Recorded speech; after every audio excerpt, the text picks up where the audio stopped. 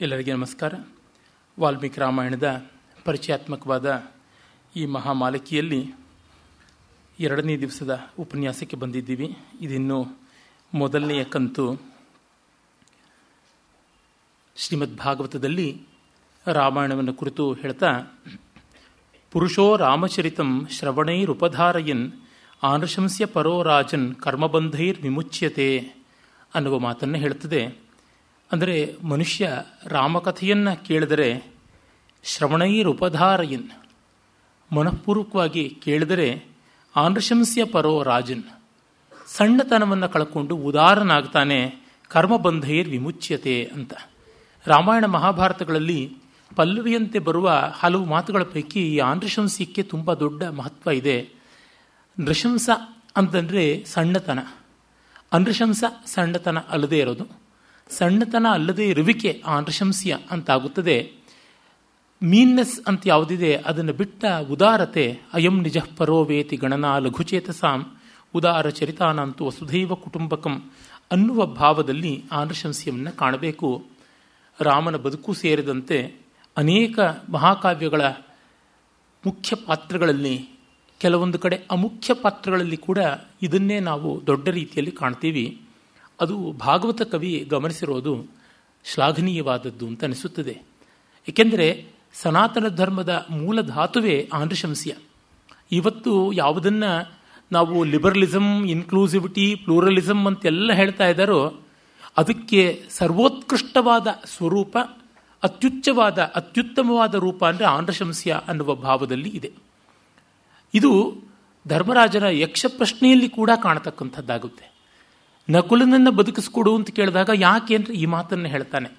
ಎಲ್ಲಿ ನೋಡಿದರೂ ಈ ಸರ್ವಸಮಭಾವ, ಸರ್ವಾಂಗೀಕಾರ ಅದು ಬಹಳ ದೊಡ್ಡ ತತ್ವವಾಗಿ ಕಾಣಿಸಿಕೊಳ್ಳುವುದನ್ನೇ ರಾಮಾಯಣದ ಫಲವಾಗಿ ಹೇಳುತ್ತದೆ. ಆನೃಶಂಸ್ಯ ಪರನಾಗಿ ಕರ್ಮಬಂಧಗಳನ್ನು ಕಳಿಸ್ಕೋತಾನೆ. ಕರ್ಮಬಂಧ ಅಂಟಿನಿಂದ ಬರುತ್ತದೆ. ಅಂಟು ಬಿಟ್ಟಾಗ ಕರ್ಮಬಂಧವಿಲ್ಲ. ಹಾಗಾಗಿ ನಹ್ಯಸನ್ಯಸ್ತ ಸಂಕಲ್ಪೋ ಯೋಗಿ ಭವತಿ ಕಶ್ಚನ ಅಂತ ಸಂಕಲ್ಪ ತ್ಯಾಗವೇ ಕರ್ಮಬಂಧಕ್ಕಿರುವ ಪ್ರತಿಕಾರ. ಸಂಕಲ್ಪರಹಿತನಾಗಿ ಮಾಡಿದಾಗ ಕರ್ಮ, ಕರ್ಮಯೋಗವಾಗಿ ಚಿತ್ತಶುದ್ಧಿ ಕಾರಕವಾಗಿ ಅದು ಲೀಲೆ ಅಂತ ಮಾರ್ಪಡುತ್ತದೆ. ಕರ್ಮ ಮತ್ತು ಲೀಲೆಗಳಿಗಿರುವ ವ್ಯತ್ಯಾಸ ಅದೇ. ಕರ್ಮ ಫಲಪರ್ಯವಸಾಯಿಯಾದದ್ದು. ಹಾಗಾಗಿ ಲಿಪ್ತವಾಗುತ್ತದೆ, ಅಂಟುಳ್ಳದ್ದಾಗುತ್ತದೆ.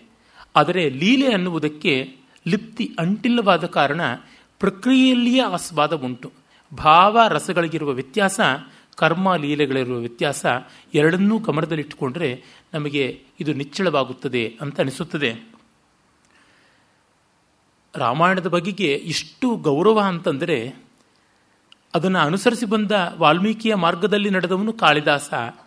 ಅವನ ಬಗೆಗೂ ಅಷ್ಟೇ ಗೌರವ ಇಟ್ಟುಕೊಂಡು ಎಷ್ಟೋ ಕವಿಗಳು ವಾಲ್ಮೀಕಿ ಕಾಳಿದಾಸರ ಸಮೀಕರಣ ಮಾಡಿಕೊಂಡು ಹೋಗ್ತಾರೆ. ಉತ್ಪ್ರೇಕ್ಷಾ ವಲ್ಲಭ ಅಂತ ಒಬ್ಬ ಕವಿ ಇದ್ದ. ಅವನು ಭಿಕ್ಷಾಟನ ಕಾವ್ಯ ಅಂತ ಕೇವಲ ವಸಂತ ತಿಲಕ ವೃತ್ತಮಯವಾದ ಒಂದು ಕಾವ್ಯವನ್ನು ಬರೆದಿದ್ದಾನೆ. ಅಲ್ಲಿ ಆರಂಭದಲ್ಲಿಯೇ ಹೇಳ್ತಾನೆ, ವಾಲ್ಮೀಕಿರಸ್ತು ವಿಜಯೀ ಸ ಕವಿ ಪುರಾಣ, ತಸ್ಯಾನುಸಾರ ಸರಳ ಸಚ ಕಾಳಿದಾಸ. ಪ್ರಾಚೀನ ಕವಿ, ಆದಿಮೂಲನಾದ ಕವಿ ಮಹರ್ಷಿ ವಾಲ್ಮೀಕಿಗಳಿದ್ದಾರೆ. ತಸ್ಯಾನುಸಾರ ಸರಳ, ಅವನ ಪದಪದ್ಧತಿಯಲ್ಲಿ, ಎರಡರ್ಥದಲ್ಲಿಯೂ ಪದಪದ್ಧತಿಯಲ್ಲಿ ನಡೆದು ಬಂದಂಥವನು ಕಾಳಿದಾಸ. ಅನ್ಯೇ ಭವಂತು ಕವಯೋ ಜೈನೋಥ ಮಾವ ಇನ್ನು ಮಿಕ್ಕ ಕವಿಗಳಿಗೆ ಜೈವಾಗಲಿ ಅಂತ ನಾನು ಹೇಳ್ತೀನಿ, ಅಥವಾ ಹೇಳದೇನೂ ಇರ್ತೀನಿ. ಯಾಕೆಂದರೆ ಯಶಾಂ ಕೃತ ಕೃತಿಶ ನೈವ ಮಯಾವ ಗಾಹ ನಾನು ಮಿಕ್ಕವರ ಕೃತಿಗಳಲ್ಲಿ ಮುಳುಗಿದ್ದವನೇ ಅಲ್ಲ. ಯಶಾಂ ಕೃತ ಕೃತಿಷು ನೈವ ಮಯಾವ ಗಾಹ ನಾನು ಆ ಕೃತಿ ಗಂಗೆಗಳಲ್ಲಿ, ಕೃತಿ ಸರಸ್ಸುಗಳಲ್ಲಿ ಮಿಂದೆದ್ದವನೇ ಅಲ್ಲವಾದ್ದರಿಂದ, ಅವರಿಗೆ ಜಯವಾಗಲಿ ಬಿಡಲಿ ಅಂತ ಹೇಳೋದೇನು ದೊಡ್ಡ ಸಂಗತಿಯಲ್ಲ ಅಂತಂತಾನೆ. ಹೀಗೆ ರಾಮಾಯಣ ಪರಂಪರೆ ಅಷ್ಟು ವ್ಯಾಪಕವಾಗಿ ಬೆಳೆದಿದೆ. ಮಹಾನಾಟಕ ಅಥವಾ ಹನುಮನ್ ನಾಟಕ ಎಲ್ಲ ರಾಮಾಯಣ ಕಾವ್ಯ ನಾಟಕಗಳ ಒಂದು ಸಂಕಲನದ ಮಹಾಯತ್ನ. ಅದನ್ನು ಛಾಯಾನಾಟಕ ಅಂತ ಕೂಡ ಕರೀತಾರೆ. ಛಾಯಾನಾಟಕ ಅಂತಂದರೆ ಈ ತೊಗಲು ಬೊಂಬೆಗಳನ್ನು ಆಡಿಸ್ತಕ್ಕಂಥ ನಾಟಕ ಅಂತ ಕೆಲವರು ಅರ್ಥ ಮಾಡಿಕೊಳ್ತಾರೆ. ಆದರೆ ರಾಘವನ್ನವರು ಛಾಯಾನಾಟಕಕ್ಕೆ ಇನ್ನೊಂದು ಅರ್ಥವನ್ನು ಕೊಡ್ತಾರೆ. ಅದು ಏನಂತಂದರೆ ನಾಟಕ ಛಾಯೆಯಲ್ಲಿರ್ತಕ್ಕಂಥದ್ದು ಅಂತ. ಇದು ಒಂದು ಗೇಯ ಪ್ರಬಂಧದಂತೆ, ಒಂದು ಓದುಗಬ್ಬದಂತೆ ಇರತಕ್ಕಂಥದ್ದು, ನಾಟಕದ ರೂಪದಲ್ಲಿ ಹವಣಿಸಿರ್ತಕ್ಕಂಥದ್ದು. It's a compilation of so many things ಅಂತ. ಅದು ಹನುಮಂತನೇ ಬರದ ಅಂತ. ಅಂದರೆ ಸಾರವತ್ತಾದದ್ದು ಎಲ್ಲೆಲ್ಲಿದೆಯೋ ಅದೆಲ್ಲವನ್ನೂ ಸೇರಿಸಿಕೊಂಡು ಹನುಮಂತನೇ ಸಂಗ್ರಹ ಮಾಡಿಕೊಟ್ಟ ತನ್ನ ವಜ್ರ ಕಠೋರವಾದ ಊರುಗಳಿಂದ ಬಂಡೆಗಳ ಮೇಲೆ ಕೊರೆದಿಟ್ಟದ್ದು, ಅದು ಭೋಜರಾಜನಿಗೆ ಸಿಕ್ಕಿತು ಅಂತೆಲ್ಲ ಕಥೆ ಉಂಟು. ಅಂದರೆ ನಮ್ಮಲ್ಲಿ ಎಷ್ಟು ತರಹ ಬೆಳೆಸಿಕೊಂಡಿದ್ದಾರೆ ರಾಮಾಯಣದ ಬಗೆಗೆ ಕನೆಕ್ಟಿವಿಟಿ ಅಂತ. ರಾಜಶೇಖರ ಹತ್ತನೇ ಶತಮಾನದ ಕವಿ, ಅವನು ಬಾಲ ರಾಮಾಯಣ ಬಾಲಭಾರತ ಅಂತ ಎರಡು ನಾಟಕ ಬರೆದಿದ್ದಾನೆ. ನಿನ್ನೆ ಅವನ ಬಾಲ ಭಾರತದ ಬಗ್ಗೆ ಉಲ್ಲೇಖ ಮಾಡಿದೆ, ಬಾಲ ರಾಮಾಯಣವನ್ನು ಪ್ರಸ್ತಾವಿಸಿದೆ. ಅಲ್ಲಿ ಒಂದು ಕಡೆ ಹೇಳ್ತಾನೆ, ವಾಲ್ಮೀಕಿ ಭವ ಪುರಾ ಬಭುವ ಭರ್ತೃಮೆಂಟತಾಂ ಭೂವಿ ಭರ್ತೃಮೆಂಟತಾಂ ಅಂತ. ವಾಲ್ಮೀಕಿ ಭರ್ತೃಮೆಂಟ ಅನ್ನುವ ಒಂದು ಕವಿಯ ರೂಪದಲ್ಲಿ ಅವತರಿಸಿದ ಆಮೇಲೆ ಭವದುವು ಭವಭೂತಿ ತಾಮ್ಗತಃ ಆಮೇಲೆ ಭವಭೂತಿ ರೂಪ ತಾಳ್ದ, ಸವರ್ತತೆ ಸಂಪ್ರತಿ ರಾಜಶೇಖರ, ಅವನೇ ಈಗ ರಾಜಶೇಖರ ಆಗಿದ್ದಾನೆ ಅಂತ ನಮ್ಮ ಕವಿಗಳಿಗೆ ವಾಲ್ಮೀಕಿ ಅವತಾರವಾಗುವ ಆಸೆ ಯಾವ ಮಟ್ಟಕ್ಕಿದೆ ಅನ್ನೋದು ಮತ್ತೆ ಮತ್ತೆ ಗೊತ್ತಾಗುತ್ತದೆ. ಭರ್ತೃಮೆಂಟ ಹಯಗ್ರೀವವಧ ಅನ್ನುವ ಕಾವ್ಯ ಬರೆದಿದ್ದ. ಅವನು ಇನ್ನೊಂದು ಕಾವ್ಯನೂ ಬರೆದಿದ್ದ. ಆ ಕಾವ್ಯ ನಮಗೆ ಸಿಕ್ಕಿಲ್ಲ. ಸೀತಾನ್ವೇಷಣೀಯಂ ಅಂತ, ಸೀತೆಯ ಹುಡುಕಾಟ ಅಂತ. ಅದನ್ನು ಭೋಜರಾಜ ಶೃಂಗಾರ ಪ್ರಕಾಶದಲ್ಲಿ ಉಲ್ಲೇಖ ಮಾಡ್ತಾನೆ. ಹಾಗಾಗಿ ವಾಲ್ಮೀಕಿ ರಾಮಾಯಣಕ್ಕೆ ಅವನ ಸಂಬಂಧ ಅಂತ. ಅಂದರೆ ವಾಲ್ಮೀಕಿಯನ್ನು ತುಂಬ ಪ್ರೀತಿಯಿಂದ ಅನುಸರಿಸಿದ ದೊಡ್ಡ ಪರಂಪರೆ ಇದೆ ಅನ್ನೋದಕ್ಕೆ ಎಲ್ಲೆಲ್ಲೆಲ್ಲ ಮೂಲೆಗಳಿಂದಲೂ ನಮಗೆ ಸಿಗುತ್ತದೆ. ನಮ್ಮ ದೇಶದ ಶಾಸನಗಳಲ್ಲಿ ಎಷ್ಟು ಕಡೆ ಬರ್ತದೆ ಈಗ ಉದಾಹರಣೆಗೆ ಸತ್ಯ ಪರಾಕ್ರಮ ರಾಮ, ಅವಕ್ರ ವಿಕ್ರಮ ರಾಮ, ಶೌಚಾಂಜನೇಯ ಈ ರೀತಿಯಾದಂಥ ಬಿರುದುಗಳು ರಾಜರುಗಳಿಗಿದ್ದಂಥದ್ದು ಗೊತ್ತಾಗುತ್ತದೆ.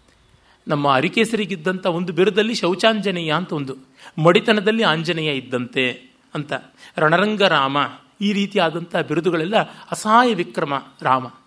ಎದುರಿಗೆ ರಾವಣ ಬಂದರೂ, ಅಷ್ಟು ದಿವಸಗಳಿಂದ ಅವನ ಮೇಲೆ ಕ್ರೋಧ ಇದ್ದರೂ, ಮೊತ್ತ ಮೊದಲ ಯುದ್ಧದ ದಿವಸದಲ್ಲಿ ರಾವಣನನ್ನು ಲೀಲಾಜಾಲವಾಗಿ ಧ್ವಂಸ ಮಾಡಿ ಅವನ ರಥವನ್ನು, ಸಾರಥಿಯನ್ನು, ಕುದುರೆಗಳನ್ನು, ಪತಾಕಿಯನ್ನ, ಕವಚವನ್ನು, ಕಿರೀಟವನ್ನು, ಆಯುಧಗಳನ್ನು ಎಲ್ಲವನ್ನೂ ಕಳಚಿಸಿ ನೆಲದ ಮೇಲೆ ಸ್ಟ್ರಿಪ್ಟೀಸ್ ಅಂತಾರಲ್ಲ ಹಾಗೆ ಮಾಡಿ ಬಿಟ್ಟು ಆ ಬಳಿಕ ವಿಶ್ರಾಂತಿ ತೆಗೆದುಕೊಂಡು ಬಾ, ಇಂದು ತುಂಬ ಬಳಲಿದ್ದೀಯೆ ಅಂತಾನೆ.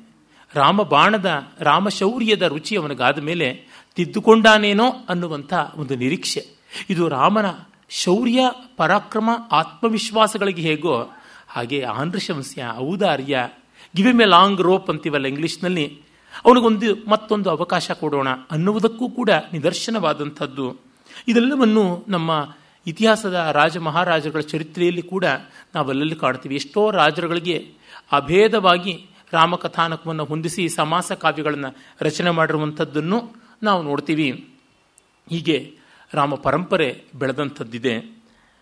ಇಲ್ಲಿವರೆಗೆ ಅಂದರೆ ನಮ್ಮ ದೇಶದಲ್ಲಿ ಮಾತ್ರವಲ್ಲ, Cambodia, Champa Cambodia, Kambuja, Champa, Vietnam, ಅಲ್ಲೆಲ್ಲ ನಮ್ಮವರು ಹೋಗಿ ಸಾಮ್ರಾಜ್ಯಗಳನ್ನು ಸ್ಥಾಪಿಸಿದ್ದರು ಆ ರಕ್ತಪಾತರಹಿತವಾದ ಸನಾತನ ಧರ್ಮ ಸಾಮ್ರಾಜ್ಯದ ಶಾಸನಗಳು ಇಷ್ಟೋ ಸಂಸ್ಕೃತ ಶಾಸನಗಳು ಸಿಕ್ಕಿವೆ. ಆರ್ ಸಿ ಮುಜುಮ್ದಾರ್ ಅವರು, ರಮೇಶ್ ಚಂದ್ರ ಮುಜುಮ್ದಾರ್ ಅವರು ಶಾಸನಗಳ ಸಂಗ್ರಹವನ್ನೇ ಮಾಡಿಕೊಟ್ಟಿದ್ದಾರೆ. ಅಲ್ಲೊಂದು ಕಡೆ ಬರ್ತದೆ, ವಾಲ್ಮೀಕಿಗೆ ಒಂದು ಮಂದಿರ ಕಟ್ಟಿಸಿದ್ರು ಅಂತ.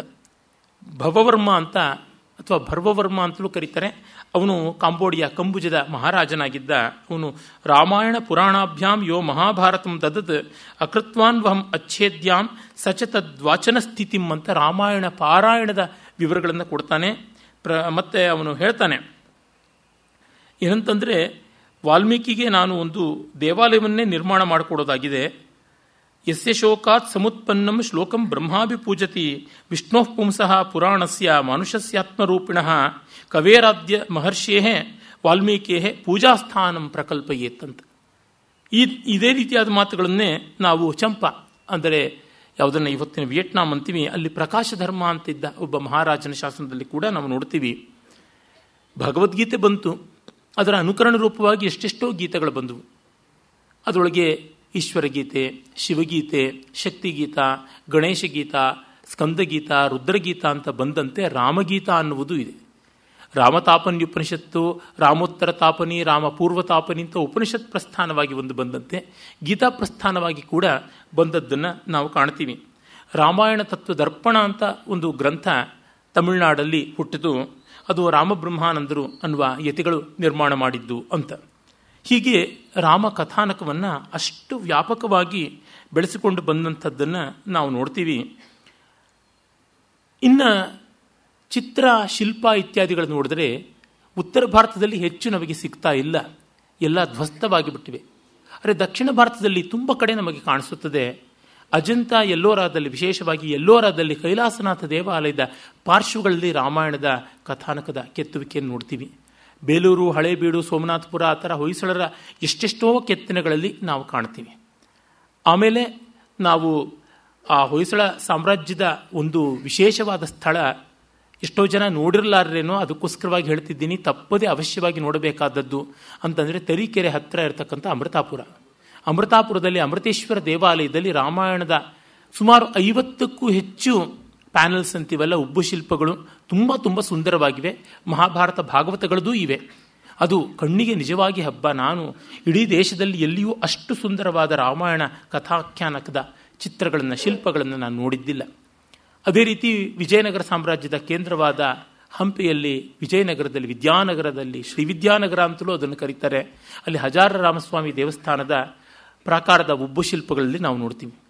ವಿಜಯನಗರ ಸಾಮ್ರಾಜ್ಯದ ಕಾಲದಿಂದ ಈಚೆಗೆ ಸುಮಾರು ದೇವಾಲಯಗಳಲ್ಲಲ್ಲಿ ರಾಮ ಸಂಬಂಧಿಯಾದಂಥ ಕಥಾನಕಗಳನ್ನು ಕೆತ್ತಿರತಕ್ಕಂಥದ್ದನ್ನು ನಾವು ಕಾಣ್ತೀವಿ. ಇನ್ನು ಚಿತ್ರ ಕಲೆಯಲ್ಲಿ ನೋಡಿದರೆ ಒರಿಸ್ಸಾದಲ್ಲಿ ಹೆಚ್ಚಾಗಿ ಕಾಣಿಸುವುದಿಲ್ಲ, ಪಟಚಿತ್ರದಲ್ಲಿ ಕೃಷ್ಣ ಕಥಾನಕಗಳು ಹೆಚ್ಚು ತೋರುತ್ತವೆ ಉತ್ತರ ಭಾರತದಲ್ಲಿ ಕಾಂಗಡ, ಪಹಾಡಿ, ರಜಪುಟಾಣಿ ಮೊದಲಾದಂಥವುಗಳಲ್ಲಿ ಹೆಚ್ಚು ಕಾಣಿಸೋಲ್ಲ. ರಾಮನ ಸೀತೆಯ ಆ ಚಿತ್ರಗಳು ಕಾಣಿಸುತ್ತವೆ ಅದರಲ್ಲಿ ಕಥಾನಕ ರೂಪದಲ್ಲಿ ಕಾಣಿಸೋಲ್ಲ. ಆದರೆ ತಂಜಾವೂರು, ಮೈಸೂರು, ಕಲಂಕಾರಿ ಅಂತ ಯಾವುದೋ ಆಂಧ್ರ ಪ್ರದೇಶದಲ್ಲಿ ಉಂಟು.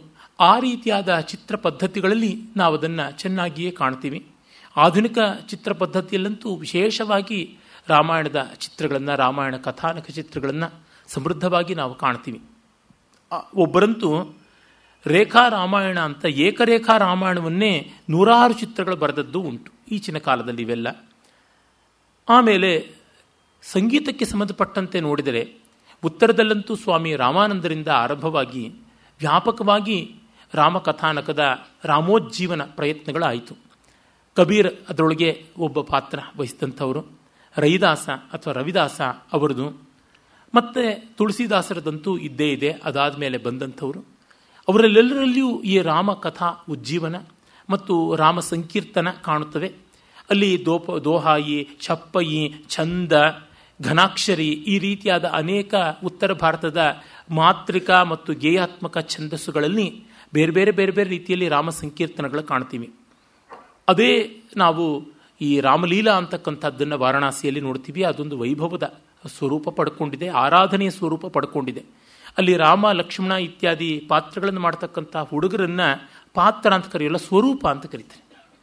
ಎಷ್ಟೋ ಜನಕ್ಕೆ ಸ್ವರೂಪ ಅನ್ನುವ ಹೆಸರು ಇದೆ, ರಾಮ ಸ್ವರೂಪ, ಲಕ್ಷ್ಮಣ ಸ್ವರೂಪ ಅಂತೆಲ್ಲ. ಅದು ಇಲ್ಲಿಂದ ಬಂದದ್ದು ಅಂತ ವಿದ್ವಾಂಸರು ಅಭಿಪ್ರಾಯ ಪಡ್ತಾರೆ ಕೆಲವರು ಅದನ್ನು ಉಪನಾಮ ಅಂತ ಕೂಡ ಹೇಳ್ತಾರೆ. ಅಂದರೆ ಸಾಕ್ಷಾತ್ ರಾಮ ಸಾಕಾರವಾದಂಥದ್ದು ಅಂತ, ಅದು ಪಾತ್ರವ, ದೇವತೆಯ ಅಂತನ್ನೋದರ ಅಭೇದವಾಗಿ ಮಾಡ್ತಕ್ಕಂಥದ್ದು. ಅಲ್ಲಿ ಕಲಾಸ್ವಾದನಕ್ಕಿಂತ ಆರಾಧನೆಯೇ ಹೆಚ್ಚಿನ ಪ್ರಾಮುಖ್ಯವನ್ನು ಪಡೆಯುವಂಥದ್ದನ್ನು ನೋಡ್ತೀವಿ. ಆಮೇಲೆ ಮಹಾರಾಷ್ಟ್ರದ ಕೀರ್ತನ ಸಂಪ್ರದಾಯದಲ್ಲಿ ಕೂಡ ರಾಮಭಕ್ತಿಯ ಪರಂಪರೆಯನ್ನು ನೋಡ್ತೀವಿ. ಆಂಧ್ರದಲ್ಲಿಯೂ ವ್ಯಾಪಕವಾಗಿ ಬೆಳೆದಿದೆ. ವಿಶೇಷತಃ ಭದ್ರಾಚಲ ರಾಮದಾಸ್ ಅಂಥವರ ರಚನೆಗಳ ಮೂಲಕವಾಗಿ ತುಂಬ ಸಮೃದ್ಧಿಯನ್ನು ಪಡ್ಕೊಂಡಿದೆ. ಅರೆ ತಮಿಳುನಾಡಿನಲ್ಲಿ ಹುಟ್ಟಿದ ಆಂಧ್ರ ಪ್ರದೇಶದವರಾದ ತ್ಯಾಗರಾಜರು ಅದಕ್ಕೆ ತುಂಬ ದೊಡ್ಡ ಆಯಾಮವನ್ನು ಕೊಟ್ಟಿದ್ದು, ಅವರ ಉಪಲಬ್ಧವಿರತಕ್ಕಂಥ ಏಳ್ನೂರು ಚಿಲ್ಲರೆ ಕೃತಿಗಳಿಂದ ನಮಗೆ ಗೊತ್ತಾಗುತ್ತದೆ. ಕಥಾನಕಗಳ ಪ್ರಕಾರ ಅವರು ಇಪ್ಪತ್ನಾಲ್ಕು ಸಾವಿರ ಗೇಯಗಳನ್ನು ರಚನೆ ಮಾಡಿದ್ದರು ಅಂತ. ನಮ್ಮ ಕನ್ನಡದ ಹರಿದಾಸರಲ್ಲಿ ಕೂಡ ರಾಮಕಥಾನಕವನ್ನು ಅಲ್ಲಲ್ಲಲ್ಲಲ್ಲಿ ವಿಸ್ತರಿಸುವಂಥದ್ದನ್ನು ನಾವು ನೋಡ್ತೀವಿ. ಇನ್ನು ಹನುಮದ್ ವಿಲಾಸ ಈ ರೀತಿಯಾಗಿ ಹನುಮಂತನಿಗೆ ಸಂಬಂಧಪಟ್ಟ ಆರಾಧನಾ ಕ್ರಮಂತೂ ಬಹಳ ವಿಸ್ತೃತವಾಗಿ ಬೆಳೆದದ್ದನ್ನು ನೋಡ್ತೀವಿ. ಅಲ್ಲಿ ಅದು ಒಂದು ವ್ಯಾಯಾಮದ ಮಲ್ಲಶಿಕ್ಷೆಯ ಮತ್ತು ದೈಹಿಕ ಪಟುತ್ವದ ಆಯಾಮವನ್ನು ಪಡ್ಕೊಂಡಿರುವಂಥದ್ದು ನೋಡ್ತೀವಿ. ರಾಮನಿಗೂ ಆಗದೇ ಇರೋದು ರಾಮಭಕ್ತ ಹನುಮಂತ ಮಾಡ್ತಾನೆ ಅಂತ. ಭೂತ ಪ್ರೇತಾದಿಗಳ ಉಚ್ಚಾಟನೆಯಿಂದ ಮೊದಲುಗೊಂಡು ಶತ್ರುಧ್ವಂಸದವರೆಗೆ ಎಲ್ಲವನ್ನೂ ಹನುಮಂತನಿಗೆ ಆರೋಪಣೆ ಮಾಡಿದ್ದೀವಿ.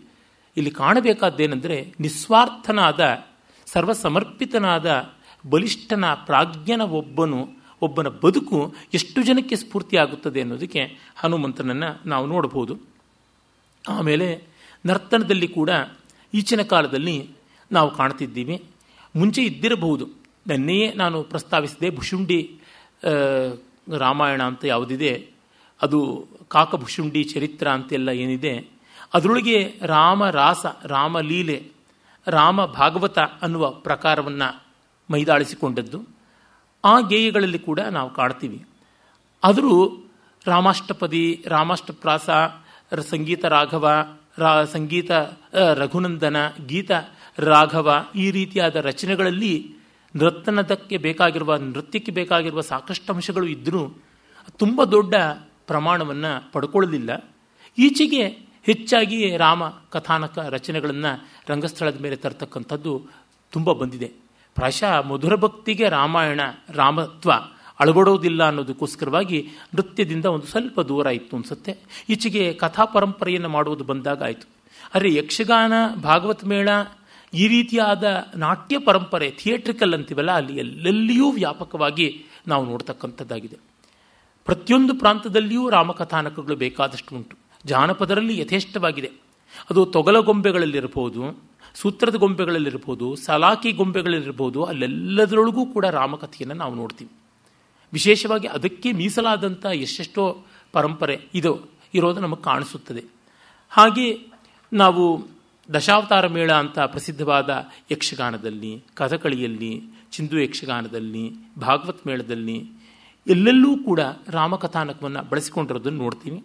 ಈಚೆಗೆ ನೃತ್ಯ ಪರಂಪರೆ, ನೃತ್ಯ ನಾಟಕ ಪರಂಪರೆಯಾದಾಗ ತಮಿಳುನಾಡಿನ ಕಲಾಕ್ಷೇತ್ರದಲ್ಲಿ, ಅಡಿಯಾರ್ ಕಲಾಕ್ಷೇತ್ರದವರು ಸಮಗ್ರ ವಾಲ್ಮೀಕಿ ರಾಮಾಯಣದ ಆಯ್ದ ಶ್ಲೋಕಗಳನ್ನು ತೆಗೆದುಕೊಂಡು ಹಲವು ನೃತ್ಯ ರೂಪಕಗಳು ಮಾಡಿದ್ದಾರೆ. ಆರೇಳು ನೃತ್ಯ ರೂಪಕಗಳನ್ನು ಏನು ಮಾಡಿದ್ದಾರೆ? ಅದು ಒಂದು ದೊಡ್ಡ ಮಜಲು ಅಂತ ಹೇಳ್ಬೋದು. ಅದಾದ ಮೇಲೆ ಮುಂದೆ ತುಂಬ ಜನ ಮಾಡಿದ್ದಾರೆ.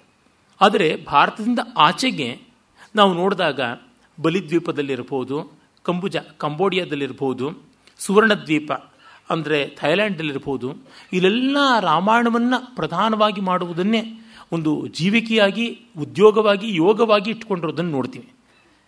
ಎಲ್ಲಿವರೆಗೆ ಅಂತಂದರೆ, ಅಲ್ಲಿಯ ನಟರಿಗೆ ಆಯಾ ಪಾತ್ರಗಳದನ್ನು ಮಾತ್ರ ಹೇಳಿಕೊಡ್ತಾರೆ. ಆಚರಣದಲ್ಲ. ಹಾಗಾಗಿ ಅವರಿಗೆ ಬೇರೆ ರಸಗಳನ್ನು ಅಭಿನಯಿಸೋಕ್ಕೂ ಬರೋಲ್ಲ. ಹಾಸ್ಯವನ್ನು ರಾಮನ ಪಾತ್ರಧಾರಿ ಅಭಿನಯಿಸಲಾರ. ಯಾಕೆಂದರೆ ಅವನಿಗೆ ಹೇಳೇ ಕೊಡೋದಿಲ್ವಂತೆ. ರಾಮ ಹುಚ್ಚುಚಾಪಟ್ಟೆ ನಗಬಾರದು. ಅದಕ್ಕೋಸ್ಕರ ಘನ ಗಂಭೀರವಾಗಿರಬೇಕು ಭಯಾನಕ ರಸವನ್ನು ಅವ್ರಿಗೆ ಹೇಳ್ಕೊಡೋಲ್ಲ. ರಾಮ ಎಲ್ಲಾದರೂ ಭಯಪಟ್ಕೊಳ್ಳೋದು ಉಂಟೆ ಸಾಧ್ಯವೇ ಇಲ್ಲ ಅಂತ. ಆ ಮಟ್ಟಕ್ಕೆ ಅದು ಕಲೆಯ ದೃಷ್ಟಿಯಿಂದ ಅಸ್ವಾಧ್ಯವಲ್ಲ ಸ್ವಾಗತೀಯ, ಸ್ವಾಗತಾರ್ಹವೂ ಅಲ್ಲ. ಆದರೆ ರಾಮಭಕ್ತಿ ರಾಮ ಪರಂಪರೆಯ ದೃಷ್ಟಿಯಿಂದ ಕಂಡಾಗ ಅತ್ಯಾಶ್ಚರ್ಯಕರವಾಗಿ ಆ ಪರಂಪರೆಯ ಗೌರವವನ್ನು ಪಡ್ಕೊಂಡು ಬಂದಿದ್ದಾರೆ. ಮತ್ತೆಲ್ಲಿಯೂ ಆದರ್ಶತೆ, ಶೈಲೀಕೃತ ಸ್ಟೈಲೈಸ್ಡ್ ಅಂತೀವಲ್ಲ, ಅದನ್ನು ನೋಡ್ತೀವಿ. ಸೀತೆಯೂ ಅಷ್ಟೇ. ಹೆಜ್ಜೆಯ ಮೇಲೆ ಹೆಜ್ಜೆ ಇಡಬೇಕು ನೈವಿನಿವಾಗಿರಬೇಕು ಕಣ್ಣೆತ್ತರಿಸಿ ನೋಡಬಾರ್ದು ತೋಳದ ಮೇಲಕ್ಕೆ ಎತ್ತರಿಸಬಾರ್ದು ಆ ರೀತಿಯಾದಂಥದ್ದು. ಅತಿ ಶಿಷ್ಟೀಕರಣ ಅತಿ ಶೈಲೀಕರಣದಿಂದ ರಸ ನೈಜತೆ ಹೋಗುತ್ತದೆ, ಸಂದೇಹವೇ ಇಲ್ಲ. ಆದರೆ ರಾಮಭಕ್ತಿ, ರಾಮಾಯಣ ಗೌರವ ಹೇಗೆಲ್ಲ ಪ್ರತಿಬಿಂಬಿಸಿದೆ ಅನ್ನೋದಕ್ಕೆ, ರಷ್ಯಾದಲ್ಲಿ ಕಮ್ಯುನಿಸಂ ತನ್ನ ಎಲ್ಲ ಆಡಂಬರವನ್ನು ತೋರಿಸಿ ಆಳ್ತಾ ಇದ್ದಾಗಲೂ ರಾಮಾಯಣ ಕಥೆ ಅಲ್ಲಿ ಬ್ಯಾಲೆ ರೂಪದಲ್ಲಿ ಪ್ರಕಟವಾಗಿತ್ತು ಅನ್ನೋದನ್ನು ನೋಡಿದಾಗ ರಾಮಾಯಣದ ಸ್ವಾರಸ್ಯ ಇಷ್ಟು ವಿಶೇಷವಾದದ್ದು ಅಂತನ್ನುವುದು ನಮಗೆ ತಿಳಿಯುತ್ತದೆ. ಈಗ ಉಂಟು. ಬೇರೆ ಬೇರೆ ಪ್ರಾಂತಗಳಲ್ಲಿ ಸಾಹಿತ್ಯದ ವಿಸ್ತಾರಗಳನ್ನು ನಾವು ನೆನ್ನೆಯೇ ಗಮನಿಸಿದ್ದೀವಿ ಹಾಗಾಗಿ ಹೇಳಬೇಕಿಲ್ಲ. ಒಂದೊಂದು ಪ್ರಾಂತದಲ್ಲೂ ಕೂಡ ಉಂಟು. ರಾಮಾಯಣ ಕಕವಿನ್ ಅಂತ ನಿನ್ನೆ ಉಲ್ಲೇಖಿಸಿದೆ ನಾನು. ಭಟ್ಟಿಯ ರಾವಣವಧವನ್ನು ಆಶ್ರಯಿಸಿಕೊಂಡು ಬಂದದ್ದು. ಅದು ಜಾವನೀಸ್ ಭಾಷೆಯಲ್ಲಿ ಯೋಗೇಶ್ವರ ಅಂತಕ್ಕಂಥ ಒಬ್ಬ ಕವಿ ಬರೆದದ್ದು. ಇದು ಎರಡು ಸಾವಿರದ ಏಳ್ನೂರಕ್ಕೂ ಹೆಚ್ಚು ಪದ್ಯಗಳಿರತಕ್ಕಂಥದ್ದು, ಇಪ್ಪತ್ತಾರು ಸ್ವರ್ಗಗಳಲ್ಲಿದೆ. ಅದೊಂದು ಸಂಸ್ಕೃತ ಮತ್ತು ಜಾವನೀಸ್ ಭಾಷೆ ಬೆರೆಸಿ ಮಾಡಿದಂಥದ್ದು, ಒಂದು ಮಣಿಪ್ರವಾಳ ಶೈಲಿ ಅಂತ ಅನ್ಬೋದು ಅದೇ ರೀತಿಯಲ್ಲಿ ಮಾತ್ರಾಕ್ಷರ ರಾಮಾಯಣ ಅಂತ ಮತ್ತೊಂದು ಇದೆ. ಆಮೇಲೆ ಹರಿಶ್ರಯ ಕಕವಿನ್ ಅಂತ ಇನ್ನೊಬ್ಬ ಕವಿ ಬರೆದಂಥದ್ದು, ರಾಮಪುರಾಣ, ರಾಮವಿಜಯ, ಕಪಿಪರ್ವ, ಚರಿತ್ರ ರಾಮಾಯಣ, ಮಿಸಾಸುರ ಕಥಾ ಮತ್ತು ಕೇಚಕ ರಾಮಾಯಣ ಈ ರೀತಿಯಾದಂಥದ್ದನ್ನು ನಾವು ಇಂಡೋನೇಷಿಯಾದಲ್ಲಿ ನೋಡ್ತೀವಿ. ಇಂಡೋನೇಷ್ಯಾದಲ್ಲಿಯೇ ನಾವು ಬಲಿದ್ವೀಪ ಕಾಣ್ತಕ್ಕಂಥದ್ದು, ಯವದ್ವೀಪ, ಜಾವಾ ಅಂತಕ್ಕಂಥದ್ದು. ಹಾಗೆ ಕಂಬೋಡಿಯಾ, ಕಂಬುಜದಲ್ಲಿ ಯಶೋವರ್ಮ, ಅವನು ಅವನ ರಾಜಧಾನಿಯನ್ನು ಅಯೋಧ್ಯೆಗೆ ಸರಿಸಮನಾಗಬೇಕು ಅಂತ ನಿರ್ಮಾಣ ಮಾಡಿದ್ದು. ಅಲ್ಲಿ ಯಾವುದು ನಮಗೆ ಅಂಗೋರ್ವಾಟ್ ಅಂತ ಪ್ರಸಿದ್ಧವಾದ ದೇವಾಲಯ ಸಮುಚ್ಚಯ ಇದೆ. ಅಲ್ಲಿ ರಾಮ ರಾವಣ ಯುದ್ಧದ ತುಂಬ ವಿಸ್ತೃತವಾದ ದೀರ್ಘವಾದಂಥ ಒಬ್ಬ ಶಿಲ್ಪದ ಪಟ್ಟಿಕೆ ಇರೋದನ್ನು ನೋಡ್ತೀವಿ. ಥಾಯ್ಲ್ಯಾಂಡಲ್ಲಿ ರಾಮಕಿಯನ್ ಅಂತ, ಅದು ರಾಮಕೀರ್ತಿ ಕಾವ್ಯ ಅಂತ ಈಚೆಗೆ ನಮ್ಮ ಸಂಸ್ಕೃತಕ್ಕೆ ಮೊದಲನೆಯ ಜ್ಞಾನಪೀಠ ಪ್ರಶಸ್ತಿಯನ್ನು ತಂದುಕೊಟ್ಟಿರ್ತಕ್ಕಂಥ ಸತ್ಯವ್ರತ ಶಾಸ್ತ್ರಿಗಳು ಸಂಸ್ಕೃತೀಕರಿಸಿ ಕೊಟ್ಟಿದ್ದಾರೆ ಅದು ಉಂಟು. ನಮ್ಮ ಎಸ್ ರಂಗನಾಥ್ ಅವರು ಅದನ್ನು ಕನ್ನಡಕ್ಕೆ ಅನುವಾದ ಮಾಡಿದ್ದಾರೆ ಅದು ಸುಮಾರು ಎಷ್ಟು ವಿಸ್ತಾರವಾಗಿದೆ ಅಂತಂದರೆ ಐವತ್ತು ಸಾವಿರದ ಇನ್ನೂರ ಎಂಬತ್ತಾರು ಪದ್ಯಗಳಿರ್ತಕ್ಕಂಥ ಅಷ್ಟು ವಿಸ್ತಾರವಾದದ್ದು ಅಂತ. ಆಮೇಲೆ ಅದನ್ನು ಸಂಗ್ರಹ ಮಾಡಿ ಹದಿನಾಲ್ಕು ಸಾವಿರದ ಮುನ್ನೂರು ಪದ್ಯಗಳಿಗಿಳಿಸಿ ಮತ್ತು ಮತ್ತು ಸಂಗ್ರಹ ಮಾಡಿದರು ಅಂತ ಗೊತ್ತಾಗುತ್ತದೆ. ಹೀಗೆ ಮಲೇಷಿಯಾದಲ್ಲಿ ಕೂಡ ರಾಮಾಯಣ ಉಂಟು, ಬರ್ಮಾದಲ್ಲಿ ಕೂಡ ರಾಮಾಯಣ ಉಂಟು ಅಂತ ನಮಗೆ ಗೊತ್ತಾಗುತ್ತೆ. ಫಿಲಿಪೈನ್ಸಲ್ಲಿ ರಾಮಾಯಣದ ಕಥಾನಕಗಳು, ರಾಮಾಯಣದ ಚಿತ್ರಣಗಳು ಕಾಣ್ತೀವಿ. ಕಂಬೋಡಿಯಾದಲ್ಲಂತೂ ನೋಡಿದ್ರೆ ಅದೆಷ್ಟು ದೇವಾಲಯಗಳಲ್ಲಿ ರಾಮಾಯಣದ ಕಥಾನಕಗಳನ್ನು ಕೆತ್ತಿರ್ತಕ್ಕಂಥದ್ದನ್ನು ನೋಡ್ತೀವಿ. ಅದು ಬಹಳ ಆಶ್ಚರ್ಯಕಾರಿ. ಮಹಾಭಾರತಕ್ಕಿಂತಲೂ ರಾಮಾಯಣ ಹೆಚ್ಚು ಪ್ರಾಚುರ್ಯವನ್ನು ಪಡೆದುದನ್ನು ನೋಡ್ತೀವಿ. ಬರ್ಮ, ಬ್ರಹ್ಮದೇಶ ಅಂತ ಯಾವುದನ್ನು ಹೇಳ್ತೀವಿ. ಆ ಬ್ರಹ್ಮದೇಶದಲ್ಲಿ ಕೂಡ ರಾಮತ್ಯಾಗಿನ್ ಅನ್ನುವಂಥ ಒಂದು ಕಾವ್ಯ ನಾವು ನೋಡ್ತೀವಿ. ರಾಮಮಸ್ತು, ರಾಮತನ್ಮಯೋ, ರಾಮರಾಮ, ಮಹಾರಾಮ ರಾಮ ತೊನ್ಮಯೋ ರಾಮತ್ಯಾಜ್ಜಿ ಈ ಥರ ಅನೇಕ ರಾಮ ಕಥಾನಕಗಳನ್ನು ನಾವು ನೋಡ್ತೀವಿ. ಒಂದೊಂದು ಪ್ರಾಂತಗಳಲ್ಲೂ ಈ ರೀತಿ ರಾಮಾಯಣ ಬೆಳೆದು ಬಂದಿರೋದು ನೋಡಿದಾಗ ಬ್ರಹ್ಮ ವಾಲ್ಮೀಕಿಗಳಿಗೆ ಯಾವ ವರವನ್ನು ಕೊಟ್ಟಿದ್ದ ಯಾವತ್ಥಾಸ್ಯಂತಿ ಗಿರಿಯ ಸರಿತಶ್ಚ ಮಹೀತಲೆ ತಾವದ್ ರಾಮಾಯಣ ಕಥಾ ಲೋಕೇಶು ಪ್ರಚುರಿಷ್ಯತಿ ಅನ್ನೋದು ಅಕ್ಷರ ಸತ್ಯವಾಗಿರೋದು ನಮ್ಮ ಗಮನಕ್ಕೆ ಬರುತ್ತದೆ. ಇನ್ನು ಆಧುನಿಕ ಭಾರತೀಯ ಭಾಷೆಗಳಲ್ಲಿ ರಾಮಾಯಣದ ಬಗೆಗೆ ಬಂದಂಥ ಅಧ್ಯಯನಾತ್ಮಕವಾದದ್ದು, ಸಂಶೋಧನಾತ್ಮಕವಾದದ್ದು, ಖಂಡನಾತ್ಮಕವಾದದ್ದು, ಮಂಡನಾತ್ಮಕವಾದದ್ದು, ಗಂಭೀರ, ಲಘು ಲಘು ಗಂಭೀರ ಗದ್ಯಾತ್ಮಕ, ಪದ್ಯಾತ್ಮಕ, ನಾಟಕಾತ್ಮಕ, ಗೇಯಾತ್ಮಕ, ಪ್ರತೀಕಾತ್ಮಕ ಅಂತ ನೋಡಿದ್ರೆ ಅಸಂಖ್ಯ ಅನಿಸುತ್ತದೆ. ನಮ್ಮ ವೆಂಕಟಾಚಲ ಶಾಸ್ತ್ರಿಗಳು ತಲಸ್ಪರ್ಶಿಯಾಗಿ ಇಂಥ ಸಂಶೋಧನೆಗಳನ್ನು, ಸೂಚಿಗಳನ್ನು ಸಿದ್ಧಪಡಿಸೋದ್ರೊಳಗೆ ಅಗ್ರಗಣ್ಯರು ಅವರು ಕನ್ನಡದಲ್ಲಿ ಬಂದ ರಾಮಾಯಣ ಸಂಬಂಧಿಯಾದ ಗ್ರಂಥ ಲೇಖನಗಳ ಸೂಚಿ ಅಂತ ಒಂದು ನೂರ ಹತ್ತು ಪುಟ ಇರತಕ್ಕಂಥ ಒಂದು ಪುಸ್ತಕ ಬರೆದಿದ್ದಾರೆ. ಬರೀ ಸೂಚಿ. ಕ್ಯಾಟಲಾಗ್ ಅದು ಕನ್ನಡದ್ದು ಮಾತ್ರ. ಅದು ಅಷ್ಟಿದೆ ಅಂತಂದರೆ ಪ್ರತಿಯೊಂದು ಭಾಷೆಯಲ್ಲೂ ಎಷ್ಟಿರಬೇಕು ನೋಡಿ. ಡಾಕ್ಟರ್ ರಾಘವನ್ನವರು ಡಾಕ್ಟರ್ ಕೃಷ್ಣಮೂರ್ತಿಯವರು ಎಲ್ಲ ಕೇಂದ್ರ ಸಾಹಿತ್ಯ ಅಕಾಡೆಮಿಗೆ ಆ ರಾಮಾಯಣದ ಪರಂಪರೆ ಲೆಗಸಿ ಆಫ್ ರಾಮಾಯಣವನ್ನು ಕುರಿತು ಹಲವು ಸಂಪುಟಗಳಲ್ಲಿ ಸಂಪಾದನೆ ಮಾಡಿಕೊಟ್ಟಿದ್ದಾರೆ ವಿದ್ವತ್ ಲೇಖನಗಳನ್ನು. ಒಂದೊಂದು ಭಾಷೆಯಲ್ಲಿಯೂ ಬಂದಿದೆ.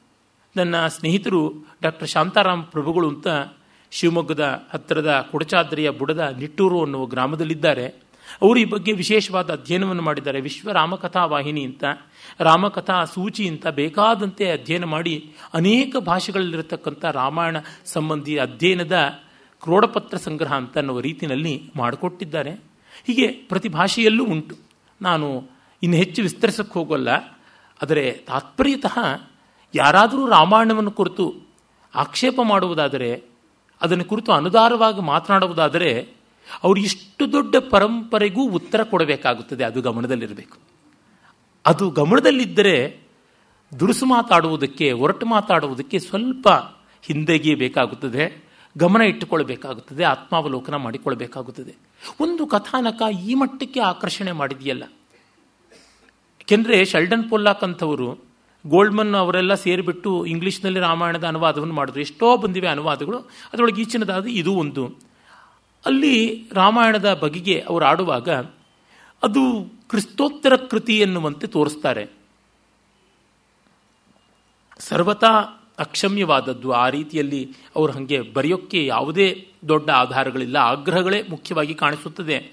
ಆಗ್ರಹಗ್ರಸ್ತವಾದ ಮನಸ್ಸಿಗೆ ಯಾವ್ಯಾವುದೋ ಆಧಾರಗಳು ಕಾಣಿಸಿಕೊಂಡು ಬಿಡುತ್ತವೆ. ಅಲ್ಲಿ ನೋಡಿದಾಗ ತಿಳಿಯುತ್ತದೆ, ಕಾಳಿದಾಸನನ್ನು ನಾವು ಕನಿಷ್ಠಾತಿ ಕನಿಷ್ಠ ಕ್ರಿಸ್ತಶಕ ನಾಲ್ಕನೇ ಶತಮಾನಕ್ಕೆ ಸೇರಿಸ್ತೀವಿ. ಹಿಂದಕ್ಕೆ ತಳ್ಳಿದ್ರೆ ಹೋಗ್ತಾನೆ ಅವನು ಎಷ್ಟೋ. ಆದರೆ ನಮಗೆ ತಿಳಿದಂಥ ಆಧಾರಗಳನ್ನು ಇಟ್ಟುಕೊಂಡು ಅತ್ಯಂತ ಈಚಿನವನು ಅಂತ ಹೇಳೋದಿದ್ರೆ ಈಗ ಸಾವಿರದ ಆರುನೂರು ವರ್ಷಗಳ ಹಿಂದಿನವನು ಅಂತ. ಅವನ ಕಾಲಕ್ಕೆ ಲೋಕಪೂಜ್ಯತೆಯನ್ನು ರಾಮಾಯಣ ಪಡೆದಿತ್ತು ಅಂದರೆ ಅದು ಇನ್ನೂರು ಮುನ್ನೂರು ವರ್ಷಗಳಲ್ಲಿ ಆಗತಕ್ಕಂಥದ್ದಲ್ಲ. ಅವನಿಗಿಂತಲೂ ಆರುನೂರು ವರ್ಷಗಳಿಗೆ ಹಿಂದೆ ಇದ್ದಂಥ ಪತಂಜಲಿ, ಅದೂ ಮತ್ತೆ ಇವೆಲ್ಲ ಕೂಡ ನಾನು ಹೇಳ್ತಾ ಇರ್ತಕ್ಕಂಥದ್ದು ಕನ್ಸರ್ವೇಟಿವ್ ಡೇಟಿಂಗ್ ಅಂತ ಅದರ ಆಧಾರದ ಮೇಲೆ ಹೇಳೋದು. ಅವನು ರಾಮಾಯಣವನ್ನು ಕುರಿತು ಅಲ್ಲಿ ಇಲ್ಲಿ ಮಾಡ್ತಕ್ಕಂಥ ಉಲ್ಲೇಖ ನೆನ್ನೆಯೇ ಹೇಳಿದನಲ್ಲ, ಅದರಿಂದ ತಿಳಿಯುತ್ತದೆ. ಅವನಿಗೆ ಇನ್ನೂರು ವರ್ಷಗಳಿಗೂ ಹಿಂದೆ ಇದ್ದಂಥ ಕೌಟಿಲ್ಯನ ಅರ್ಥಶಾಸ್ತ್ರದಲ್ಲಿ ನೋಡಿದಾಗ ರಾಮಾಯಣ ಜನಜನಿತವಾಗಿದ್ದ ರೀತಿಯನ್ನು ನಾವು ತಿಳ್ಕೊಳ್ತೀವಿ. ಅಲ್ಲಿಂದಲೂ ಹಿಂದೆ ನೋಡಿದರೆ ಹರಿವಂಶ ಮಹಾಭಾರತ ಅಲ್ಲಿ ಕಾಣಿಸಿಕೊಳ್ಳುತ್ತದೆ. ಹೀಗೆ ಯಾವ ರೀತಿಯಲ್ಲಿ ನೋಡಿದ್ರೂ ರಾಮಾಯಣ ತುಂಬ ಪ್ರಾಚೀನವಾದದ್ದು ಅಂತ ತಿಳಿಯುತ್ತದೆ. ಇವತ್ತು ಉಪಲಬ್ಧವಿರತಕ್ಕಂಥ ವಾಲ್ಮೀಕಿ ರಾಮಾಯಣದಲ್ಲಿ ಎಷ್ಟೋ ಅವೋಪದ್ವಾಪಗಳು ಇರಬಹುದು. ಕೆಲವೊಂದು ಭಾಗ ಈಚಿನದು, ಕೆಲವೊಂದು ಭಾಗ ಆಚಿನದು ಇದೆಲ್ಲ ಇರುತ್ತದೆ. ಆದರೂ ಇಷ್ಟನ್ನಂತೂ ಹೇಳೋದಕ್ಕೆ ಸಾಧ್ಯ. ನಿಸ್ಸಂದಿಗ್ಧವಾಗಿ ರಾಮಾಯಣದ ರಚನೆ ಅಂತನ್ನೋದು ಈಗ ಮೂರು ಸಾವಿರ ವರ್ಷಗಳಿಗಿಂತಲೂ ಹಿಂದೆ ಆಗಿದ್ದಿರಬೇಕು. ಸಂದೇಹ ನನಗಂತೂ ಕಾಣಿಸ್ತಾ ಇಲ್ಲ. ಅದಷ್ಟಕ್ಕೆ ಆ ಹೊತ್ತಿಗೆ ಸಂಸ್ಕೃತಕ್ಕೆ ಒಂದು ನಿಶ್ಚಿತವಾದ ರೂಪ ಬಂದಿತ್ತು. ಹಾಗಿದ್ದಿರಬೇಕು ಅಂತ ಗೊತ್ತಾಗುತ್ತದೆ. ಅಲ್ಲಿ ಇಲ್ಲಿ ಪ್ರಕ್ಷೇಪಗಳು ಕಾಣುವಂಥವೆ. ಇನ್ನು ರಾಮಾಯಣವನ್ನು ವಾಸ್ತವ ದೃಷ್ಟಿಯಿಂದ ನೋಡಿ ಎಚ್ ಡಿ ಸಾಂಕಾಲಿಯ ಅಂಥವರು ಪಿ ಬಿ ವರ್ತಕ್ಕಂಥವರು ಎಲ್ಲ ಬೇಕಾದಷ್ಟು ಗ್ರಂಥಗಳು ಬರೆದಿದ್ದಾರೆ ರಾಮಾಯಣವನ್ನು ಈಚಿನದು ಅಂತ ತೋರ್ಪಡಿಸೋದಕ್ಕೇನೆ ಎಚ್ ಡಿ ಸಂಕಾಲಿ ಅವರು ಗ್ರಂಥವನ್ನು ರಚನೆ ಮಾಡಿದ್ದಾರೆ. ಕನ್ನಡದಲ್ಲಿ ಕೂಡ ಅವ್ರದ್ದು ಬಂದಿದೆ, ಪುಸ್ತಕ ಇದ್ದೇ ಇದೆ, ಇತಿಹಾಸದ ಕಣ್ಣಲ್ಲಿ ರಾಮಾಯಣ ಅಂತ. ಎಚ್ ಡಿ ವರ್ತಕ್ ಅವರು, ಪಿ ಬಿ ವರ್ತಕ್ ಅವರು ವಾಸ್ತವ ರಾಮಾಯಣ ಅಂತ ಅವ್ರದ್ದು ಕೂಡ ಮರಾಠಿಯ ಕೃತಿ ಕನ್ನಡದಲ್ಲಿ ಅನುವಾದ ಬಂದಿದೆ. ಎರಡೂ ಸ್ವಲ್ಪ ಅತಿಮಾರ್ಗಗಳು ಅಂತ ನನಗೆ ತೋರುತ್ತದೆ. ಆದರೆ ಸತ್ಯವನ್ನು ಗಮನಿಸುವುದಾದರೆ ನಮಗೆ ರಾಮಾಯಣ ತುಂಬ ಪ್ರಾಚೀನವಾದದ್ದು, ಸಂದೇಹವೇ ಇಲ್ಲದಂತೆ. ಬುದ್ಧನಿಗೂ ಗೌರವನೀಯವಾಗಿದ್ದಿತ್ತು ಅನ್ನೋದ್ರೊಳಗೆ ಸಂದೇಹ ಕಾಣಿಸುವುದಿಲ್ಲ. ಇರಲಿ. ಇವೆಲ್ಲ ಚರ್ಚೆಗಳಿಗಿಂತ ಮಿಗಿಲಾದದ್ದು ಮೂಲ ಗ್ರಂಥ. ಅದೇ ನಮ್ಮ ಕಣ್ಣೆದುರಿಗಿರುವಾಗ ನಾವು ಬೆಣ್ಣೆಯನ್ನು ಇಟ್ಟುಕೊಂಡು ತುಪ್ಪಕ್ಕೆ ಬೀದಿ ಬೀದಿ ಅಲಿಬೇಕಾಗಿಲ್ಲ. ನೇರವಾಗಿ ನಾವು ಗ್ರಂಥಕ್ಕೆ ಬರೋಣ. ರಾಮಾಯಣವನ್ನು ಐನೂರು ಸರ್ಗಗಳಿಂದ ಕೂಡಿರತಕ್ಕಂಥ ಸಪ್ತಕಾಂಡಾತ್ಮಕವಾದ ಮಹಾಗ್ರಂಥ ಅಂತ ಹೇಳ್ತಾರೆ. ಆದರೆ ಉತ್ತರಕಾಂಡವನ್ನು ಸೇರಿಸಿಕೊಂಡ್ರೆ ಇನ್ನೂ ಹೆಚ್ಚು ಸರ್ಗಗಳಾಗುತ್ತವೆ ಅಂತಂತಾರೆ. ಒಟ್ಟಿನಲ್ಲಿ ಇಪ್ಪತ್ನಾಲ್ಕು ಸಾವಿರ ಶ್ಲೋಕಗಳ ಗ್ರಂಥ ಅಂತ. ಅದಕ್ಕೆ ಬೇರೆ ಬೇರೆ ಲೆಕ್ಕಗಳನ್ನು ಹೇಳ್ತಾರೆ. ಸರ್ಗಾತ್ಮಕವಾಗಿ ಷಟ್ಕಾಂಡ, ಶ್ಲೋಕಾತ್ಮಕವಾಗಿ ಕಾಂಡ ಸಪ್ತಕ ಅಂತೆಲ್ಲ. ಅದೇನೇ ಇದ್ದರೂ ಲೆಕ್ಕ, ಮಹಾಗ್ರಂಥ, ಇಲಿಯಡ್ ಮತ್ತು ಒಡಿಸಿ ಒಟ್ಟು ಸೇರದಷ್ಟು ಗಾತ್ರ ಆಗುತ್ತದೆ ಅನ್ನೋದ್ರೊಳಗೆ ನಮಗೆ ತಿಳಿಯುತ್ತದೆ. ಅಲ್ಲಿ ಪಂಕ್ತಿಗಳ ರೂಪದಲ್ಲಿ ನೋಡಿದ್ರೆ ಹನ್ನೆರಡು ಸಾವಿರ, ಹತ್ತು ಸಾವಿರ ಚಿಲ್ಲರೆ ಅಂತೆಲ್ಲ. ಇದು ಪಂಕ್ತಿಗಳ ರೂಪದಲ್ಲಿ ನೋಡಿದ್ರೆ ನಲವತ್ತೆಂಟು ಸಾವಿರ ಆಗಿಬಿಡುತ್ತೆ. ಇಪ್ಪತ್ನಾಲ್ಕು ಸಾವಿರ ಶ್ಲೋಕಗಳು ಅಂತಂದರೆ, ಅಂದರೆ ಎಷ್ಟು ದೊಡ್ಡದಾದದ್ದು ಅಂತ ನಮಗೆ ನಿಚ್ಚಳವಾಗಿ ಗೊತ್ತಾಗುವಂಥದ್ದು. ಇಲ್ಲಿ ನಾಯಕ, ಪ್ರತಿನಾಯಕ ಎಲ್ಲರೂ ಆದರ್ಶರೇ. ಪ್ರತಿನಾಯಕನು ರಾವಣನಂಥವನು ಮತ್ತೆ ಯಾರಿಗೂ ಸಿಗೋದಕ್ಕೆ ಸಾಧ್ಯವಿಲ್ಲ. ಅಷ್ಟು ಪರಿಪೂರ್ಣತೆ, ದುಷ್ಟತನದ್ದಾಗಲಿ ಅದಕ್ಕೆ ಬೇಕಾಗಿರುವ ದರ್ಪ, ಸಾಮರ್ಥ್ಯ ಎಲ್ಲವನ್ನ ಮೈಗೂಡಿಸಿಕೊಂಡ ಪರಿಯಾಗಲಿ ಆದರ್ಶವಾದದ್ದು. ಮತ್ತು ಒಂದು ಮಹಾಕಾವ್ಯ ಅನ್ನುವಂಥದ್ದು ಹೀಗೆಲ್ಲ ಬರೀಬಹುದು. ಅದು ವಿವಾಹ ಇರಬಹುದು, ಪುತ್ರೋತ್ಸವ ಇರಬಹುದು, ಮರಣ ಇರಬಹುದು, ಪ್ರವಾಸ ಇರಬಹುದು, ಋತುವರ್ಣನೆ ಇರಬಹುದು, ಯುದ್ಧ ಇರಬಹುದು. ಇವೆಲ್ಲವನ್ನು ಇದಮಿತ್ತಂ ಅಂತ ಮೊದಲ ಬಾರಿಗೆ ಕಲ್ಪಿಸಿಕೊಂಡದ್ದಿದೆಯಲ್ಲ ಅದು ತುಂಬ ಅಸಾಮಾನ್ಯವಾದದ್ದು ಅಂತಲೇ ಅನಿಸುತ್ತದೆ. ಮೊತ್ತ ಮೊದಲಿಗೆ ಇದರ ಚಿತ್ರಣ ಕೊಡುವುದೇ ತುಂಬ ಕಷ್ಟ. ಅಂಥದ್ದನ್ನು ಕೊಟ್ಟದ್ದು ವಾಲ್ಮೀಕಿಯ ಮಹತ್ವ. ವಾಲ್ಮೀಕಿ ರಾಮಾಯಣದ ಮೊದಲ ಸರ್ಗವನ್ನು ಸಂಕ್ಷೇಪ ರಾಮಾಯಣ ಅಂತ ಕೂಡ ಹೇಳ್ತಾರೆ. ಸುಮಾರು ನೂರು ಶ್ಲೋಕಗಳು ಇರತಕ್ಕಂಥ ಆ ನಾರದವಾಕ್ಯಂ ಅನ್ನುವ ಮೊದಲ ಸರ್ಗದಲ್ಲಿ ನಾವು ಸಂಕ್ಷಿಪ್ತವಾದ ರಾಮಾಯಣ ಕಥೆಯನ್ನೇ ನೋಡ್ತೀವಿ. ಇಲ್ಲಿ ರಾಮನ ಗುಣಗಳನ್ನು ಕೂಡ ಮೊದಲಿಗೆ ಪಟ್ಟಿ ಮಾಡುವುದನ್ನು ಕಾಣ್ತೀವಿ. ಇದಕ್ಕೆ ವ್ಯಾಖ್ಯಾನಕಾರರು ಒಂದೊಂದು ಅಕ್ಷರಾಕ್ಷರಗಳಿಗೂ ವಿಶಿಷ್ಟತೆಯನ್ನು ತೋರ್ಪಡಿಸಿದ್ದಾರೆ. ಅದು ಒಂದು ಅತಿವಾದದ ದಾರಿಯನ್ನು ತಲುಪುತ್ತದೆ. ಅದನ್ನು ಬಿಟ್ಟು ನಾವು ಮಧ್ಯ ಮಾರ್ಗವನ್ನು ಹಿಡಿಯೋಣ. ಅಲ್ಲಿ ಇಲ್ಲಿ ಅತಿವಾದದ ಸ್ವಾರಸ್ಯವನ್ನು ತೋರಿಸ್ತೀನಿ. ಮಾನಿಷಾದ ಶ್ಲೋಕ ಬಂದಾಗ ಹೇಳ್ತೀನಿ, ಅದಕ್ಕೆ ಏನೆಲ್ಲ ಸರ್ಕಸ್ಗಳನ್ನು ಮಾಡಿದ್ದಾರೆ ಅಂತ. ತಪಸ್ವಾಧ್ಯಾಯ ನಿರತಂ ತಪಸ್ವಿ ವಾಗ್ವಿದಾಂ ವರಂ ನಾರದಂ ಪರಿಪಪ್ರಚ್ಛ ವಾಲ್ಮೀಕಿರ್ ಮುನಿಪುಂಗವಂ ಅಂತ ಮೊದಲನೇ ಶ್ಲೋಕ. ಅದರಿಂದಲೇ ಇಟ್ಟುಕೊಂಡು ಇದು ಗಾಯತ್ರಿ ರಾಮಾಯಣವೂ ಹೌದು ಅಂತ ಮಾಡಿದ್ದಾರೆ. ತಪಸ್ ಅಂತನ್ನುವಲ್ಲಿ ತತ್ ಅಂತ ತಾ ಬಂತು. ಮತ್ತೆ ಜನಶ್ಚ ಶೂದ್ರೋಪಿ ಮಹತ್ವಮೀಯಾತ್ ಅಂತ ಯಾತ್ ಅಂತ ಮುಗಿಯುತ್ತದೆ.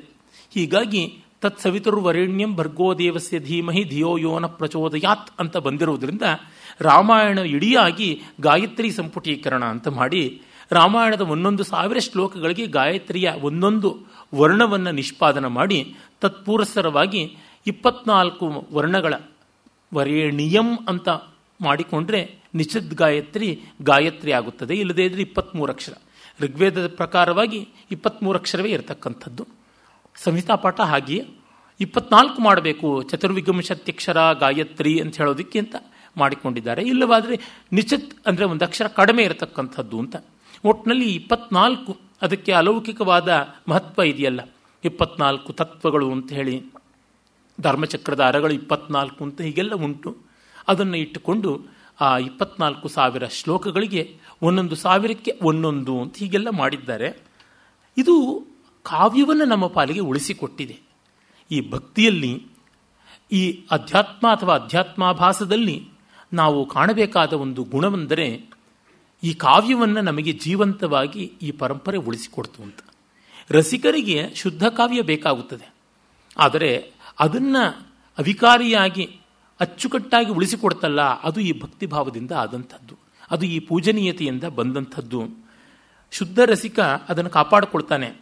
ಆದರೆ ಭಕ್ತ ಭಾವುಕನಿಗೆ ಕಾಪಾಡಿಕೊಳ್ಳೋದಕ್ಕೆ ಒಂದಿಷ್ಟು ಬೇರೆ ಆಲಂಬನಗಳು ಬೇಕು.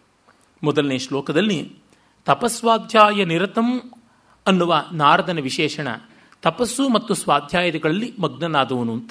ವ್ಯಾಖ್ಯಾನಕಾರರು ಸ್ವಾಧ್ಯಾಯ ಅಂದರೆ ನಾರದ ತನ್ನ ಸ್ವಶಾಖೆಯಾದ ಸಾಮವೇದ ಅಧ್ಯಯನ ಮಾಡ್ತಾ ಇದ್ದಿದ್ದು ಅಂತ ಹೇಳ್ತಾರೆ. ಯಾಕೆಂದರೆ ನಾರದ ಶಿಕ್ಷಾ ಗ್ರಂಥ ಒಂದಿದೆ, ನಾರದ ಶಿಕ್ಷಾ ಅಂತ. ಹಾಗಾಗಿ ನಾರದ ಮಹರ್ಷಿಗಳು ಸಾಮವೇದಿಗಳಾಗಿದ್ದರು ಅವರು ಗಾನ, ಕೋಶ ಗಾನ, ಕಲಾ, ಕೌಶಲವನ್ನು ಪಡೆದಿದ್ದರು ಅದರಿಂದಾಗಿ ಅದು ಸಾಮವೇದಕ್ಕೆ ಸಂಬಂಧಪಟ್ಟದ್ದು ಅಂತ. ಭಾರತೀಯ ಸಂಗೀತದ ಮೂಲವನ್ನು ನಾರದ ಶಿಕ್ಷಾದಲ್ಲಿ ನೋಡ್ತಾರೆ. ಹಾಗಾಗಿ ಅಷ್ಟು ಸೂಕ್ಷ್ಮತೆವರೆಗೂ ಹೋಗಿದ್ದಾನೆ. ಅಂದರೆ ಒಂದು ಗ್ರಂಥವನ್ನು ಎಷ್ಟು ಸೂಕ್ಷ್ಮ ದೃಷ್ಟಿಗಳಿಂದ ಗಮನಿಸಿಕೊಂಡು ಪರಿಶೀಲನೆ ಮಾಡಿ, ಪರಾಮರ್ಶನೆ ಮಾಡಿ, ಅವಲೋಕನ ಮಾಡಿದ್ದಾರೆ ಅನ್ನೋದಕ್ಕೆ ಇದನ್ನು ಒಂದು ಸಾಮಾನ್ಯ ದಿಗ್ದರ್ಶನ ಹೇಳಿದ್ದು. ಅಂತಹ ತಪಸ್ಸು ಮತ್ತು ಅಧ್ಯಯನ, ಸ್ವಾಧ್ಯಾಯ ಪ್ರವಚನೆ ಯೇ ವೇತಿನ ಕೋಮೋದ್ಗಲ್ಯ ಸ್ತದ್ಧಿತಪಸ್ತದ್ಧಿತಪಃ ಅಂತ ಮುದ್ಗಲ ಗೋತ್ರದ ನಾಕ ಅನ್ನುವ ಮಹರ್ಷಿ ಹೇಳ್ತಾನೆ, ಸ್ವಾಧ್ಯಾಯ ಪ್ರವಚನೆಯೇ ಏವ. ಅದೇ ತಪಸ್ಸು ತಾನು ಅಭ್ಯಾಸ ಮಾಡತಕ್ಕಂಥದ್ದು, ಬೇರೊಬ್ಬರಿಗೆ ಅಭ್ಯಾಸ ಮಾಡಿಸ್ತಕ್ಕಂಥದ್ದು. ಅದೇ ತಪಸ್ಸು ಅಂತ. ಆ ರೀತಿ ಇರತಕ್ಕಂಥ ನಾರದರು ವಾಗ್ವಿದಾಂ ವರಂ ವಾಗ್ವಿದಾಂ ವರ ಮಾತಿನಲ್ಲಿ ಕುಶಲತೆಯನ್ನು ಪಡೆದವರು, ಮಾತು ಬಲ್ಲವರಲ್ಲಿ ಒಳ್ಳೆಯವರು, ಅಂಥವರು ಮತ್ತು ಮುನಿಪುಂಗವರು, ಮನನಶೀಲ, ಮನನಶೀಲತ್ವ, ಮನನಾನ್ ಮುನಿ ಹಾಗೆ ಇರತಕ್ಕಂಥವರು, ನಾರಾಯಣಾದಿ ಮಂತ್ರಗಳನ್ನು ನಿರಂತರ ಮನನ ಮಾಡುವರು ಅವರನ್ನು, ನಾರದರನ್ನ ವಾಲ್ಮೀಕಿ ತಪಸ್ವಿ ಪರಿಪಪ್ರಚ್ಛ. ವ್ಯಾಖ್ಯಾನಕಾರರು ಹೇಳ್ತಾರೆ, ತಪಸ್ವಿ ಅನ್ನೋದ್ರಿಂದಲೇ ಈತನಿಗೆ ರಾಮಾಯಣ ಶ್ರವಣಾಧಿಕಾರ ಬಂದಿದೆ ಅಂತ. ಮುಮುಕ್ಷುತ್ವ ಬೇಕು ಅಂತಂದರೆ ಮಿಕ್ಕ ಸಾಧನ ಚತುಷ್ಟಯಗಳೆಲ್ಲ ಸಂಪಾದಿತವಾಗಿರಬೇಕು. ರಾಮಾಯಣ ಅನ್ನೋದು ವೇದ ಸಮಾನವಾದದ್ದು. ಹಾಗಾಗಿ ರಾಮ ಕಥೆಯನ್ನು ಕೇಳೋದಕ್ಕೆ ಒಂದು ಅರ್ಹತೆ ಬೇಕು ಅಂದರೆ ತಪಸ್ವಿ ಆಗಿರಬೇಕು ಅಂತ. ಭಗವದ್ಗೀತೆಯಲ್ಲಿ ಇದಂತೆ ನಾತಪಸ್ಕಾಯ ನಭಕ್ತಾಯ ಕದಾಶನ ಅಂತಿದೆಯಲ್ಲ, ಅದರ ಜೊತೆಗೆ ಪೋಣಿಸ್ತಾನೆ. ಇದು ತಪಸ್ವಿ ಅಲ್ಲದವನಿಗೆ ಹೇಳಬಾರ್ದು ಅಂತ. ತಪಸ್ವಿ ಅಂದರೆ ಕಷ್ಟಪಡೋಕ್ಕೆ ತಯಾರಾಗಿರುವನು ಅಂತ. ಸಂಸ್ಕೃತದಲ್ಲಿ ತಪಸ್ವಿ ಅನ್ನೋದಕ್ಕೆ ಕನಿಕರಕ್ಕೆ ಅರ್ಹನಾದ ಜೀವಿ ಅಂತ ಕೂಡ ಅರ್ಥ ಉಂಟು. ತಪಸ್ವಿನಿ ಸಾವರಾಕಿ ಕಿಂ ಕರಿಷ್ಯತಿ ಇತ್ಯಾದಿ ಎಲ್ಲ ನಾಟಕಗಳಲ್ಲಿ ಬರ್ತದೆ. Poor old fellow, poor person, ಬಡಪಾಯಿ ಅಂತ. ನಿಜ.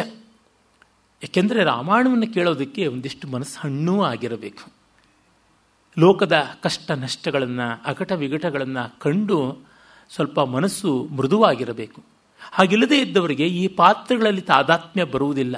ಏನು ಮಹಾ ಹೆಣ್ಣಿಗನಂಗೆ ರಾಮ ಗೋಳಾಡ್ತಾನೆ, ಹೆಂಡತಿ ಕಳೆದೋಗಿದ್ದಾಳೆ ಮಾತ್ರಕ್ಕೆ ಅಂದರೆ, ಕಳ್ಕೊಂಡು ಗೊತ್ತಿರಬೇಕಲ್ವಾ? ಲವ್ ಫೇಲ್ಯೂರ್ ಆಗಿದ್ದರೆ ಮಾತ್ರ ಗೊತ್ತಾಗುತ್ತೆ. ಇವತ್ತು ಫೆಬ್ರವರಿ ಹದಿನಾಲ್ಕನೇ ತಾರೀಕು ಹೇಳ್ತಾ ಇದ್ದೀನಿ. ನೋಡಿ, ಅದು ಖೇದವನ್ನು ಪಡಬೇಕು ಅಂತಂದರೆ, ಆ ದುಃಖವನ್ನು ಅನುಭವಿಸಬೇಕು ಅಂದರೆ ಆ ಭಾವ ನಮ್ಮ ಅಂತರಂಗದಲ್ಲಿ ಒಂದಲ್ಲ ಒಂದು ಬಾರಿ ಗಮನಕ್ಕೆ ಬಂದಿರಬೇಕಲ್ವ? ಇಲ್ಲದೇ ಇದ್ದರೆ ಹೇಗಾಗುತ್ತದೆ?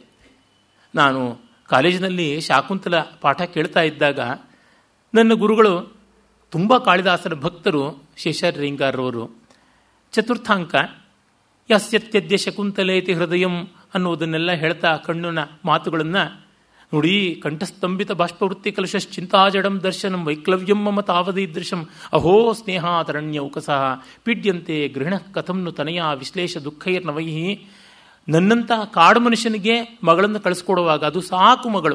ಅವಳನ್ನು ಕಳಿಸ್ಕೊಡುವಾಗ ಗಂಟ್ಲು ಬಿಗಿದುಕೊಂಡು, ಕಣ್ಣು ಮಂಜಾಗಿ, ನಾಲಿಗೆ ತೊದಲ್ಕೊಂಡು ಎಷ್ಟೆಲ್ಲ ಒದ್ದಾಟ ಆಗ್ತಾ ಇದೆ. ಇನ್ನು ಸ್ವಂತ ಮಗಳನ್ನು ಪ್ರೀತಿಯಿಂದ ಬೆಳೆಸಿ ಅವಳಲ್ಲಿಯೇ ಸಮಸ್ತವು ಅಂತ ಅಂಟಿಕೊಂಡ ಗೃಹಸ್ಥರ ಪಾಡ ಏನಾಗಿರಬೇಕು ಅಂತ ಅಂದ್ಕೋತಾರೆ ಅಂತ ಇದನ್ನ ಶ್ಲೋಕ ಚತುಷ್ಟಯಗಳಲ್ಲಿ ಒಂದು ಅಂದರು.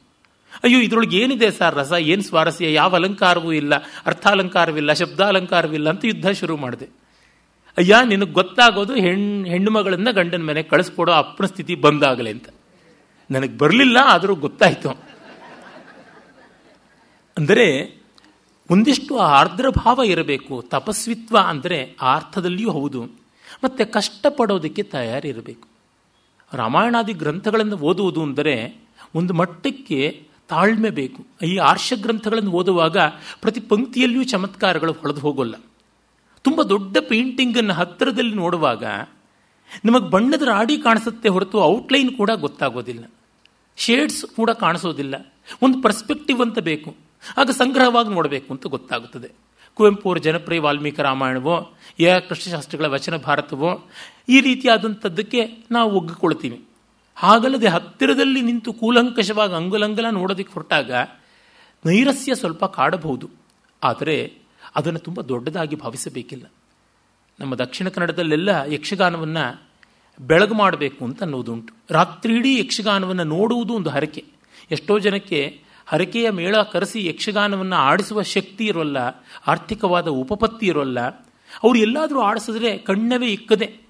ಸಂಜೆಯಿಂದ ಬೆಳಗಿನ ಜಾವದವರೆಗೂ, ಮಂಗಳ ಆಗುವವರೆಗೂ, ಭಾಗವತರು ಯಾವಾಗ ಪೂರ್ವರಂಗ ಎಲ್ಲ ಮಾಡಿ ಹರಿನಾರಾಯಣ ಗೋವಿಂದ ಅಂತ ಬಾಲಗೋಪಾಲ ವೇಷ ಕುಣಿಸೋದ್ರಿಂದ ಮೊದಲು ಮಾಡ್ತಾರೆ, ಅಲ್ಲಿಂದ ಕಟ್ಟ ಕಡೆಗೆ ಕುಮುದ ದಳಲೋಚನೆಗೆ ಅಂತ ಶುರು ಮಾಡಿಕೊಂಡು ಜಯಮಂಗಳಂ ಅಂತ ಮುಗಿಸ್ತಾರಲ್ಲ ಆವರೆಗೆ ಮೂಕಾಂಬಿಕೆಗೋ, ಕೃಷ್ಣನಿಗೋ ಮತ್ತು ಯಾರಿಗೂ ಜಯಮಂಗಳಂ ಅಂತ ಹೇಳಿ ಮಾಡ್ತಾರೆ.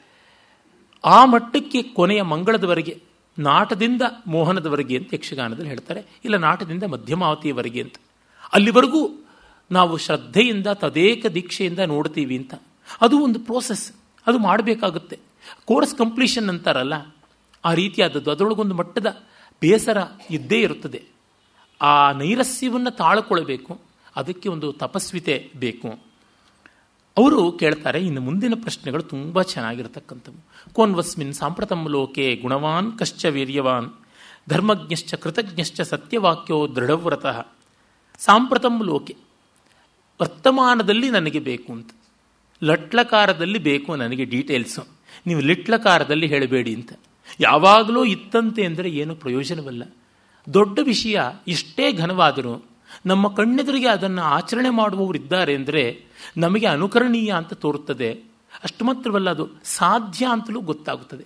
ಪಾಸಿಬಿಲಿಟಿ ಅಂತಿದೆಯಲ್ಲ, ಅದು ತುಂಬ ಮುಖ್ಯವಾದದ್ದು. ಹಾಗಿಲ್ಲದೆ ಇದ್ದರೆ ಯಾವ ಸ್ವಾರಸ್ಯವೂ ಕಾಣುವುದಿಲ್ಲ.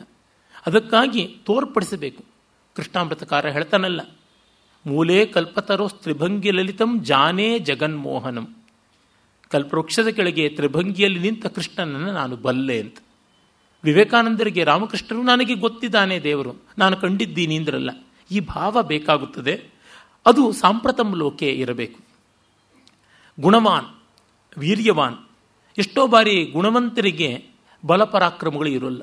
ಹಾಗಾಗಿ ಆ ಗುಣವೆಲ್ಲ ದುಷ್ಟರ ಮುಂದೆ ಕಾಡ ಬೆಳದಿಂಗಳಂತೆ ಆಗುತ್ತವೆ. ಅರಣ್ಯ ರುದಿತ, ಆಕಾಶ ಮುಷ್ಟಿಹನನ ಹಾಗಾಗಬಾರದು.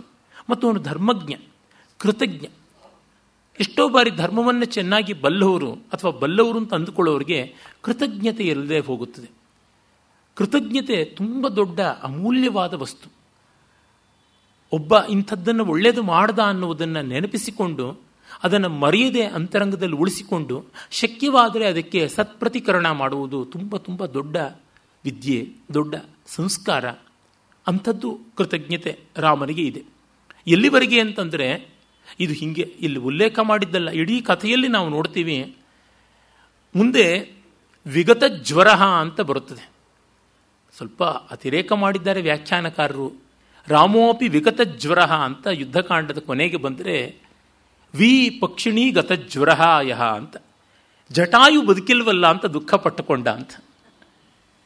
ಆದರೆ ಆ ಥರದ್ರೊಳಗೆಲ್ಲ ನಾವು ಜಿದ್ದುಗಟ್ಕೊಂಡು ನೋಡಬೇಕಾಗಿಲ್ಲ. ರಾಮನಿಗೆ ಎಲ್ಲ ವನವಾಸದ ಕ್ಲೇಶಗಳು ಸೀತಾನ್ವೇಷಣದ ತ್ರಾಸಗಳು ಎಲ್ಲ ಮುಗಿದವು ಅಂತ ನೋಡಿಕೊಳ್ಬೇಕು. ಅವನಾದರೆ ಹನುಮಂತನಿಗೆ ಸೀತೆಯ ಸಂದೇಶವನ್ನು ಮೊದಲು ತಂದುಕೊಟ್ಟವನು ಅಂತ ಒಂದು ದಿವ್ಯ ಮಾಲಿಕೆಯನ್ನು ಬಹುಮಾನವಾಗಿ ಕೊಡ್ತಾನೆ. ಈ ಥರದ್ದೆಲ್ಲ ಬರುತ್ತದೆ. ಅಲ್ಲಿ ನಾವು ಕಾಣ್ತೀವಿ, ಒಬ್ಬೊಬ್ಬರನ್ನು ಕೂಡ ಕೇಳಿ ಕೇಳಿ ಗಮನಿಸಿ ಗಮನಿಸಿ ಉಪಚಾರವನ್ನು ಮಾಡ್ದ ಅನ್ನುವಂಥದ್ದೆಲ್ಲ. ಈ ಬಗೆಯ ಕೃತಜ್ಞತೆಯ ಸೂಚನೆಗಳು ಅತ್ಯಂತ ಕಾವ್ಯದಲ್ಲಿ ಕಾಣಿಸ್ತಲೇ ಬರುತ್ತವೆ. ಸತ್ಯವಾಕ್ಯೋ ದೃಢವ್ರತ. ಸತ್ಯವಾದಿತೆ ಜೊತೆಗೆ ಕಮಿಟ್ಮೆಂಟ್ ತುಂಬ ಮುಖ್ಯ. ಡಿಪೆಂಡಬಿಲಿಟಿ ಆ್ಯಂಡ್ ಕಮಿಟ್ಮೆಂಟ್ ದೃಢವ್ರತ. ಈ ವ್ರತಿಷ್ಠರು ಒಂದು ಮಟ್ಟಿಗೆ ಕಠೋರರೂ ಆಗ್ತಾರೆ ತತ್ಕಾರಣದಿಂದ ಒಂದಿಷ್ಟು ನೀರಸರೂ ಆಗ್ತಾರೆ. ರಾಮನಲ್ಲಿ ಅಷ್ಟಿಷ್ಟು ಆ ಗುಣಗಳು ಇವೆ, ಇಲ್ಲ ಅಂತಿಲ್ಲ. ಆದರೆ ಆ ಗುಣ ನಾಯಕನಾದವನಿಗೆ ಇಲ್ಲದೇ ಇದ್ದರೆ ಲೋಕಹಿತವನ್ನು ಸಾಧಿಸೋಕ್ಕಾಗಲ್ಲ. ಲೋಕಹಿತವನ್ನು ಸಾಧಿಸಬೇಕು ಅಂತ ಹೊರಟವರು, ವ್ಯಾಪಕವಾದ ಜಗತ್ತಿಗೆ ಉಪಕಾರ ಮಾಡಬೇಕು ಅಂತ ಹೊರಟವರು, ಹತ್ತಿರದವರಿಗೆ ಸ್ವಲ್ಪ ಕಹಿ ಆಗ್ತಾರೆ ತಪ್ಪಿಸೋದು ಕಷ್ಟ. ಎಲ್ಲರಿಗೂ ಸಿಹಿಯಾಗಿ ಎಲ್ಲವನ್ನೂ ಮಾಡತಕ್ಕಂಥ ಮಹಾನುಭಾವರು ಯಾರಿದ್ದರೂ ಅವರಿಗೆ ನಮೋ ವಾಕಂ ಪ್ರಶಸ್ಮಹೆ. ಆದರೆ ಇನ್ನೆಷ್ಟೋ ಜನರಿಗೆ ಅಷ್ಟಾಗಿರೋಲ್ಲ. ಡಿ ವಿ ಜಿಯವರ ಬಗೆಗೆ ನಾವು ನೋಡಿದರೆ ಅವರ ಮಗಳು ನನಗೆ ಹೇಳಿದ್ರು, ತಾಯಿ ಅಂತ ಅವ್ರನ್ನ ಕರೀತಾ ಇದ್ದರು ಅವರು ಕಾಲೇಜಿನಲ್ಲಿ ಓದ್ತಾ ಇದ್ದಾಗ ಅಧ್ಯಾಪಕರು, ಮೈಸೂರು ಯಾರು ನೋಡಿಲ್ಲ ಕೈ ಎತ್ತಿ ಅಂದರೆ ಇವರೊಬ್ಬರೇ ಕೈ ಎತ್ತಿದ್ದಂತೆ ಏನಮ್ಮ ಇದು? ನಿಮ್ಮಪ್ಪ ನೋಡಿದ್ರೆ ವಾರ ವಾರನೂ ಮೈಸೂರಿಗೆ ಹೋಗ್ತಾರೆ, ಯೂನಿವರ್ಸಿಟಿ, ಸೆನೆಟು, ಸಿಂಡಿಕೇಟು ಅಂತೆಲ್ಲ ಹೇಳಿ, ನೀವು ನೋಡಿಲ್ವಾ ಅಂತ ನಾನೇ ನಿಮ್ಮಪ್ಪನಿಗೆ ಹೇಳ್ತೀನಿ ಅಂತಂದ್ರಂತೆ. ಏನೋ ಕರ್ಕೊಂಡು ಹೋಗಬೇಕು ಅಂತ ಅನಿಸಿಲ್ಲ. ಆಗಲಿಲ್ಲ. ಗುಂಡಪ್ಪದವರ ಭಾಷಣಗಳಿಗೆ ಎಲ್ಲಾದರೂ ಬಂದರೆ ನೀವು ಯಾಕೆ ಬರ್ತೀರಾ, ಮನೇಲಿರಿ, ಅಥವಾ ಇನ್ನೆಲ್ಲಗಾರು ಲೈಬ್ರರಿಗೆ ಹೋಗಿ, ದೇವಸ್ಥಾನಕ್ಕೆ ಹೋಗಿ ನನ್ನ ಮಾತೇನು ಕೇಳೋದು ಅಂತ ಗದರಿಸ್ತಾ ಇದ್ರಂತೆ. ಇದು ಅರ್ಥವಾಗುವಂಥದ್ದಲ್ಲ. ಉದಾರ ಚರಿತಾನ ಅಂತೂ ವಸುದೈವ ಕುಟುಂಬಕಮ್ಮು. ಹಾಗೆ ವಜ್ರಾಂಸಿ ವಜ್ರಾದಪಿ ಕಠೋರಾಣಿ ಮೃದುವನಿ ಕುಸುಮಾದಪಿ ಲೋಕೋತ್ತರಣಂ ಚೇತಾಂಸಿ ಕೋಹಿ ವಿಜ್ಞಾತು ಮರ್ಹತಿ ಅಂತ ಹಾಗೂ ಹೇಳ್ಬೋದು. ಗೊತ್ತಾಗುವುದಿಲ್ಲ.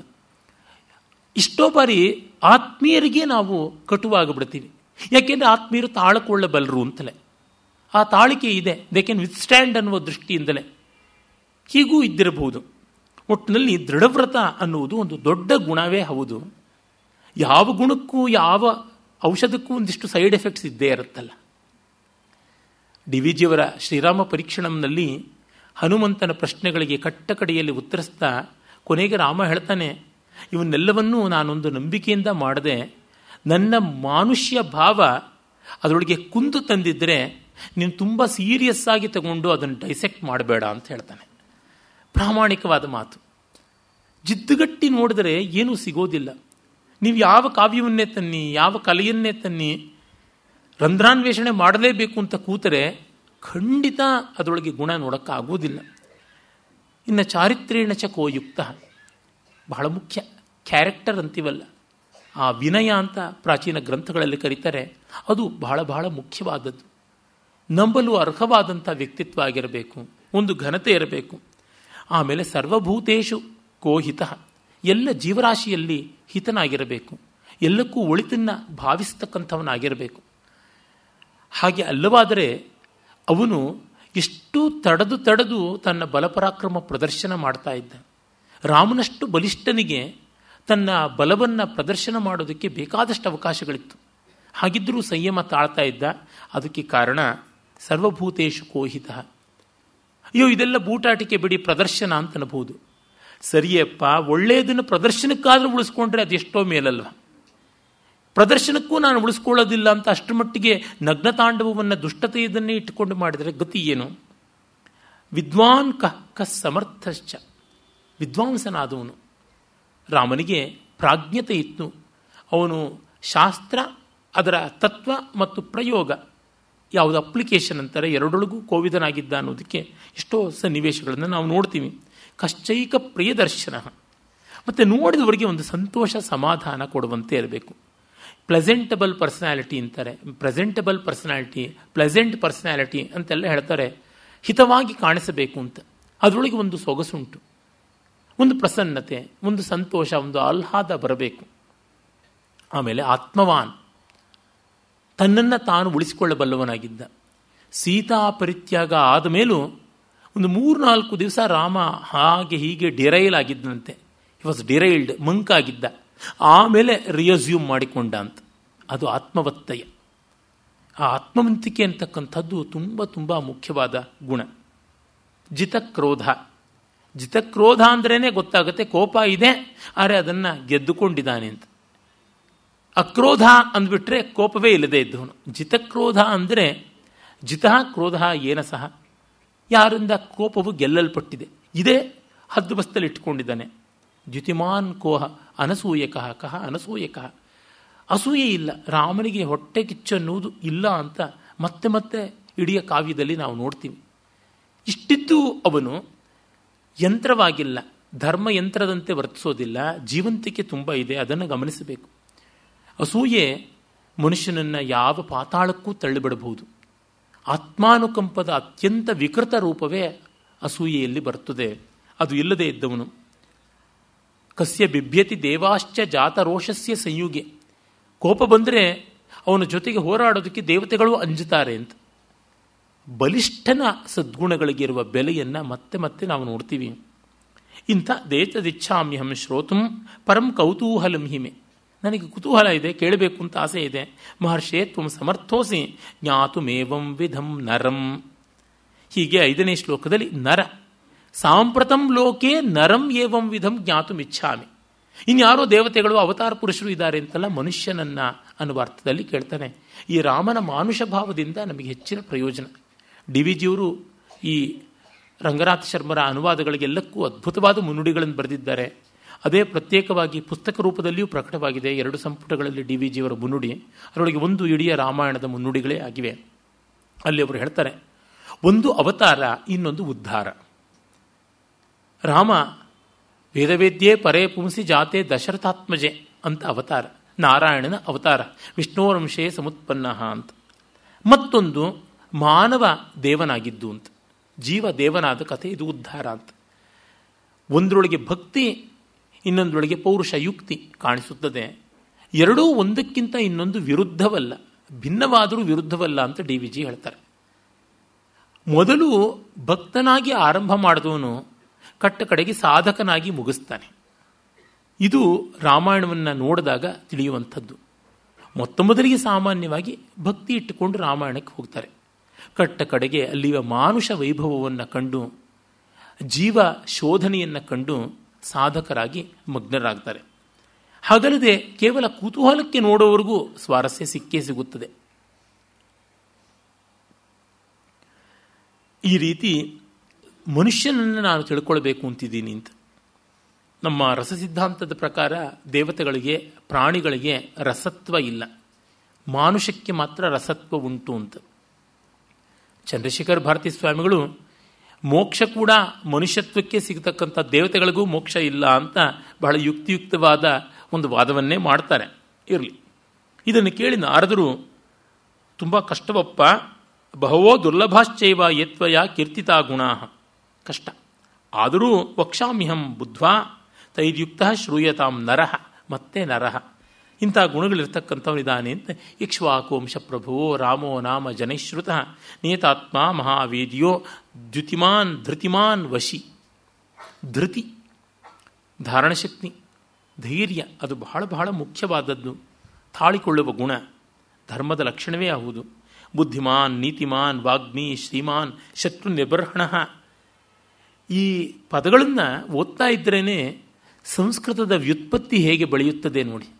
ಮತು ಪ್ರತ್ಯಯ ಎಲ್ಲಿ ಬರುತ್ತದೆ, ವತು ಪ್ರತ್ಯಯ ಎಲ್ಲಿ ಬರುತ್ತದೆ ಪ್ರತ್ಯಯ ಎಲ್ಲಿ ತಾನೇ ತಾನಾಗಿ ಗೊತ್ತಾಗುತ್ತದೆ. ಸಂಸ್ಕೃತಾಧ್ಯೇತ್ರಗಳಿಗೆ ರಾಮಾಯಣ ದಿವ್ಯವಾದ ಸುವರ್ಣ ದ್ವಾರ. ವಿಪುಲಾಂಸೋ ಮಹಾಬಾಹು ಕಂಬುಗ್ರೀವೋ ಮಹಾಹನು. ಅವನ ದವಡೇನೂ ಗಟ್ಟಿಯಾಗಿತ್ತಂತೆ. ಚೆನ್ನಾಗಿ ಎಲ್ಲ ರೀತಿಯ ಉಸಿಲಿಯನ್ನು ಅಥವಾ ಉರುಗಾಳನ್ನು ಗಟ್ಟಿಗಟ್ಟಿಯಾಗಿ ಮಾಡಿ ಚಕ್ಲಿ, ಕೋಡಬಳೆನೂ ತಿಂತಾ ಇದ್ದಿರಬೇಕು. ಹನುಮಂತನಿಗೆ ಸ್ವಾಮಿ ಅಲ್ಲವೇ. ಗಟ್ಟಿಯಾದ ದವಡೆ ಉಳ್ಳವನಾಗಿದ್ದ ಮಹೋರಸ್ಕ, ವಿಶಾಲವಾದ ವಕ್ಷಸ್ಥಲ, ಮಹೇಶ್ವಾಸ, ದೊಡ್ಡ ಬಿಲ್ಲು ಇತ್ತವನು. ಗೂಢಜತ್ರು ಆಮೇಲೆ ಭುಜದ ಗಂಟುಗಳು ಕಾಣಿಸ್ತಾ ಇರಲಿಲ್ಲ, ಮೂಳೆಯ ಗಂಟುಗಳು. ಜತ್ರು ಅಂತಂದರೆ ಭುಜದ ಗಂಟು ಸೇರುವ ಜಾಗ. ಅಂದರೆ ಮಾಂಸಲವಾದ ತೋಳುಗಳು ಸುವೃತ್ತಾಕಾರದಲ್ಲಿದ್ದು, ತನ್ಮೂಲಕ ಭುಜಗಳು ತುಂಬ ಸುಂದರವಾಗಿ, ಸುಪೀವರವಾಗಿ ಕಾಣಿಸ್ತಾ ಇದ್ವು ಅಂತ. ಈ ಸೂಕ್ಷ್ಮವನ್ನು ಅದೆಷ್ಟು ಚೆನ್ನಾಗಿ ಕವಿ ಬಲ್ಲವರಾಗಿದ್ದರು ಅಂತ. ನೋಡಿ, ಮೂಳುಮೂಳಿಯಾಗಿ ಚಕ್ಕಳ ಚಕ್ಕಳವಾಗಿ ಮೈ ಇರುತ್ತೆ. ಆ ಭುಜದ ಈ ಎರಡು ತುದಿಯಲ್ಲಿ ಕಾಣಿಸ್ತಕ್ಕಂಥ ಮೂಳೆಗಳು ಎದ್ದು ತೋರಿದರೆ ಬಡವರು, ಬರಗಾಲದ ಉದಾಹರಣೆಯವರು ದುರ್ಭಿಕ್ಷದ ದರಿದ್ರ ದೇವತೆಯ ಪ್ರಜೆಗಳು ಅಂತ ಗೊತ್ತಾಗುತ್ತದೆ. ಹಾಗಲ್ಲದೆ ಗೂಢ ಜತ್ರುಹು ಅಂತಂದರೆ ಸುಮಾಂಸಲವಾದ, ಸುಪೀನವಾದ ಆ ಭಾಗ ಅಂತ, ಆ ಆಜಾನುಬಾಹು ಮಹಾಪುರುಷ ಲಕ್ಷಣ. ಇದನ್ನಿಟ್ಟುಕೊಂಡು ಕೆಲವರು ಚಿಂಪಾಂಜಿ, ವರಾಂಗುಟಾನ್, ಆ ರೀತಿಯಾದಂಥ ಕಪ್ಪಿಗಳ ಲಕ್ಷಣವೂ ಹೌದು ಅಂತಾರೆ. ಉದ್ದವಾದ ತೋಳಿದ್ದವನು ಅನ್ನುವುದಷ್ಟೇ ಅಲ್ಲಿ ತಾತ್ಪರ್ಯ. ಸುಶಿರಾಹ. ತಲೆ ಒಳ್ಳೆ ಆಕಾರದಲ್ಲಿತ್ತು. ಇದು ಗೊತ್ತಾಗಬೇಕು ಅಂದರೆ ಯಾರಾದರೂ ಮುಂಡನ ಮಾಡಿಸಿಕೊಂಡಾಗ ನೋಡಿ ಗೊತ್ತಾಗುತ್ತದೆ. ಅವರ ತಲೆಯ ಆಕಾರ ಎಷ್ಟು ಚಿತ್ರ ವಿಚಿತ್ರವಾಗಿರುತ್ತೆ ತಲೆ ಕೂದಲು ಬೆಳೆದು ಕ್ಷೌರಿಕ ತಲೆಗೆ ಅನುಕೂಲವಾದ ರೀತಿಯಲ್ಲಿ ತಲೆಗೂದಲು ಕತ್ತರಿಸಿದಾಗ ಎಲ್ಲರೂ ಸುಶಿರಾಹ. ಆದರೆ ಮುಂಡನವಾದಾಗ ಗೊತ್ತಾಗುತ್ತೆ ಅಲ್ಲಿ ತಗ್ಗು, ಇಲ್ಲಿ ಉಬ್ಬು, ಇಲ್ಲಿ ಸೊಟ್ಟು, ಅಲ್ಲಿ ತಿಟ್ಟು ಅಂತೆಲ್ಲ. ಹೀಗೆ ಕಂಡಾಗ ಆ ಸಪ್ರಮಾಣತೆ ಇದು ಒಬ್ಬ ಶಿಲ್ಪಿಗೆ ಉಪಾದೇಯವಾಗಬಲ್ಲಂತಹ ಲಕ್ಷಣಗಳು. ಒಬ್ಬ ಚಿತ್ರಕಾರನಿಗೆ ಬೇಕಾಗಬಹುದು. ಒಂದು ದೊಡ್ಡ ಕಾವ್ಯ ಅನೇಕ ಕಲಾಕಾರರಿಗೆ, ಅನೇಕ ಕ್ಷೇತ್ರದವರಿಗೆ ಆಸಕ್ತಿದಾಯಕವಾಗಿ ತೋರಬೇಕಲ್ವ? ಹಾಗಿಲ್ಲದೇ ಇದ್ದರೆ ಅದರ ಅರ್ಹಿಗೆ ಬೆಲೆ ಎಲ್ಲಿ ನೆಲೆಯಲ್ಲಿ ಹಾಗೆ ಅದನ್ನು ನಾವು ಕಾಣ್ತೀವಿ. ಸುಲಲಾಟ ಒಳ್ಳೆಯ ವಿಶಾಲವಾದ ಹಣೆ. ಕೆಲವರಿಗಂತೂ ಬ್ರಹ್ಮನಿಗೆ ಹಣೆ ಬರಹ ಬರೆಯೋಕ್ಕೆ ಜಾಗವೇ ಇಲ್ಲ ಅನ್ನುವಂತೆ ಹಣೆ ಚಿಕ್ಕದಾಗಿರುತ್ತೆ. ಹಾಗಲ್ಲ, ವಿಶಾಲವಾದ ಲಲಾಟ. ಸಮ ಸಮಭಿಯುಕ್ತಾಂಗ ಸ್ನಿಗ್ಧವರ್ಣ ಪ್ರತಾಪವಾನ್. ಎಡಬಲಗಳಲ್ಲಿ ಸಮತ್ವ ಇದೆ. ಅದರ ಬಲಗಳಲ್ಲಿಯೂ ಸಮತ್ವ ಇದೆ. ಕೆಲವೊಮ್ಮೆ ಅದನ್ನು ಸಾಧನೆಯಿಂದ ಮಾಡಿಕೊಳ್ತೀವಿ. ಎಲ್ಲರಿಗೂ ಎಡಗೈ ಸ್ವಲ್ಪ ದುರ್ಬಲವಾಗಿಯೇ ಇರುತ್ತದೆ. ಎಡಚರಿಗೆ ಮಾತ್ರ ಪ್ರಾಬಲ್ಯ ಇರುತ್ತದೆ. ಹಾಗಲ್ಲದೆ ಇದರ ಅಭ್ಯಾಸದಿಂದ ಬಲತ್ವವನ್ನು ಪಡ್ಕೊಳ್ಬೇಕು. ಎರಡೂ ಕೈಯಲ್ಲಿ ಕತ್ತಿ ಆಡಿಸಬಲ್ಲಂಥ ತಯಾರಿಯನ್ನು ಮುಂಚೆ ಮಾಡಿಸ್ತಾ ಇದ್ರು. ಹಾಗೆ ಮಾಡುವವನು ನಿಜವಾಗಿಯೂ ಇಬ್ಬರು ಮನುಷ್ಯರ ಮಟ್ಟಿಗೆ ಸ್ಥೈರ್ಯದಿಂದ ನಿಲ್ಲಬಲ್ಲವನಾಗಿದ್ದ. ಎರಡು ಕತ್ತಿಯನ್ನು ಎರಡು ಕೈಗಳಲ್ಲಿಯೂ ಆಡಿಸುವಂಥದ್ದಾದರೆ ಅಂತ. ಶ್ರೀಕರಣದ ವಿಶ್ವನಾಥ ಅಂತ ಒಬ್ಬ ಅವಧಾನಿ ಇದ್ದ ಅಂತ ನಮಗೆ ಗೊತ್ತಾಗುತ್ತದೆ. ಚನ್ನರಾಯಪಟ್ಟದ ಚೊಕ್ಕಗುಂಟೆ ಶಾಸನದಲ್ಲಿ ಕಾಣಿಸುತ್ತದೆ. ಸುಮಾರು ಐನೂರು ವರ್ಷದ ಕೆಳಗೆ ಅವನು ಎರಡೂ ಕೈನಲ್ಲಿ ಮುಕ್ತಾಫಲ ಸದೃಶವಾದಂಥ ಅಕ್ಷರಗಳಲ್ಲಿ ಬರೀತಾ ಇದ್ದನಂತೆ. ಅವನಿಗಿಂತ ಹತ್ತತ್ರ ನಾನ್ನೂರು ಐನೂರು ವರ್ಷಗಳ ಹಿಂದೆ ಇದ್ದಂಥ ಮಲ್ಲಿಕಾರ್ಜುನ ಅಥವಾ ಮಲ್ಲಿದೇವ ಅಂತ ಅವನು ಎರಡೂ ಕೈನಲ್ಲಿ ಬರಿತಾ ಇದ್ದಂತೆ ಅಲೆಕ್ಸಾಂಡರ್ ಅಲೆಕ್ಸಾಂಡರ್ ಅಂತೀನಿ. ಸೀಸರ್, ಜೂಲಿಯಸ್ ಸೀಸರು ಬರಿತಾ ಇದ್ದ ಅಂತ ಹೇಳ್ತಾರೆ. ಈ ರೀತಿಯ ಹಲವನು ಈ ರೀತಿಯಲ್ಲಿ ದೇಹದ ಎಡಬಲಗಳಲ್ಲಿಯೂ ಸಂತುಲತೆಯನ್ನು, ಆಕಾರದಲ್ಲಿ, ಕ್ರಿಯೆಯಲ್ಲಿ ಪಡ್ಕೊಳ್ಳುವಂಥದ್ದು ಒಂದು ವಿಶೇಷ. ಪೀನವಕ್ಷಾಹ, ಉಬ್ಬಿದ ಎದೆಯವನು, ವಿಶಾಲವಾದ ಕಣ್ಣುಳ್ಳವನು, ಲಕ್ಷ್ಮೀವಾನ್, ಶುಭಲಕ್ಷಣ ಧರ್ಮಜ್ಞ, ಸತ್ಯಸಂಧಶ್ಚ, ಪ್ರಜಾನಂಚ ಹಿತೇ ರತಃ ಯಶಸ್ವಿ ಜ್ಞಾನಸಂಪನ್ನ, ಶುಚಿರ್ವಶ್ಯ ಸಮಾಧಿಮಾನ್. ಸಮಾಧಿ ಗುಣ ಒಂದು ಕಾಮ್ನೆಸ್ ಅಂತೀವಲ್ಲ, ಇಂಟರ್ನಲ್ ಕಾಮ್ನೆಸ್, ಇಂಟರ್ನಲ್ ಕ್ವೈಟಿಟ್ಯೂಡ್ ಅಂತೀವಿ. ಅಂತಃಶಮ, ಅದು ಬಹಳ ಮುಖ್ಯ, ಅದು ಸಮಾಧಿ. ಪ್ರಜಾಪತಿ ಸಮಶ್ರೀಮಾನ್ ಧಾತಾ ರಿಪುನಿಷೂದನ ರಕ್ಷಿತಾ ಜೀವಲೋಕಸ್ಯ. ಇದು ಬಹಳ ಮುಖ್ಯ. ನಾಲ್ಕು ಜನಕ್ಕೆ ಬೇಕಾದವನಾಗಿ ಬೇಲಿಯಂತೆ ನಿಂತವನು ಧರ್ಮಸ್ಯ ಪರಿರಕ್ಷಿತ. ಇದು ಮುಖ್ಯ. ಜೀವಲೋಕವನ್ನು ಕಾಪಾಡಬೇಕು. ಕಾಪಾಡುವಿಕೆ ಎನ್ನುವ ಮೌಲ್ಯ ಯಾವುದರೊಳಗಿದೆಯೋ ಆ ಧರ್ಮ ಅದನ್ನು ಕಾಪಾಡ್ತಾನು. ರಕ್ಷಿತ ಸ್ವಸ್ಯ ಧರ್ಮಸ್ಯ ಸ್ವಜನಸ್ಯ ಚ ರಕ್ಷಿತ. ಇದು ಮುಖ್ಯ. ಊರಿಗುಪಕಾರಿ ಮನೆಗೆ ಮಾರಿ ಆಗಬಾರ್ದಲ್ವ? ಇನ್ನು ಮುಂದೆ ಸರ್ವ ವೇದಾಂತ ತತ್ವಜ್ಞ, ವೇದಾಂಗ ತತ್ವಜ್ಞೋ ಧನುರ್ವೇದೇ ಚ ನಿಷ್ಠಿತ. ಸರ್ವಶಾಸ್ತ್ರಾರ್ಥ ತತ್ವಜ್ಞ ಧೃತಿಮಾನ್ ಸ್ಮೃತಿಮಾನ್, ಪ್ರತಿಭಾನವಾನ್. ನೆನಪು ಚೆನ್ನಾಗಿರ್ತಿತ್ತು ರಾಮನಿಗೆ. ಜ್ಞಾಪಕ ಶಕ್ತಿ ಸೊಗಸಾಗಿತ್ತು ಅಂತ ರಾಮನ ಮರವು ಎಲ್ಲಿಯೂ ಕಾವ್ಯದಲ್ಲಿ ಕಾಣುವುದಿಲ್ಲ. ಪ್ರತಿಭಾನವಾನ್. ಪ್ರತಿಭೆ ಸ್ಫುರಣೆ ಇತ್ತು. ಫ್ಲ್ಯಾಶ್ ಸರ್ವಲೋಕ ಸರ್ವಲೋಕಪ್ರಿಯ ಸಾಧು. ಅಧೀನಾತ್ಮ ವಿಚಕ್ಷಣ. ಸರ್ವದಾಭಿಗತ ಸದ್ಭಿ ಸಮುದ್ರ ಇವ ಸಿಂಧುಭಿ ಆರ್ಯ ಸರ್ವಸಮಶ್ಚೈವ ಸದೈವ ಪ್ರಿಯದರ್ಶನ. ಸಚ ಸರ್ವಗುಣೋಪೇತ ಕೌಸಲ್ಯಾನಂದವರ್ಧನ ಸಮುದ್ರ ಇವ ಗಾಂಭೀರ್ಯೆ ಧೈರ್ಯೇಣ ಹಿಮವಾನಿವ ಅಂತ ಹೋಲಿಕೆಗಳ ಮೇಲೆ ಹೋಲಿಕೆ ಕೊಡ್ತಾ ಬರ್ತಾರೆ. ಗಾಂಭೀರ್ಯ ಇದೆ, ಧೈರ್ಯ ಇದೆ. ವಿಷ್ಣುನ ಸದಶೋ ವೀರ್ಯೆ ಸೋಮವತ್ ಪ್ರಿಯದರ್ಶನ.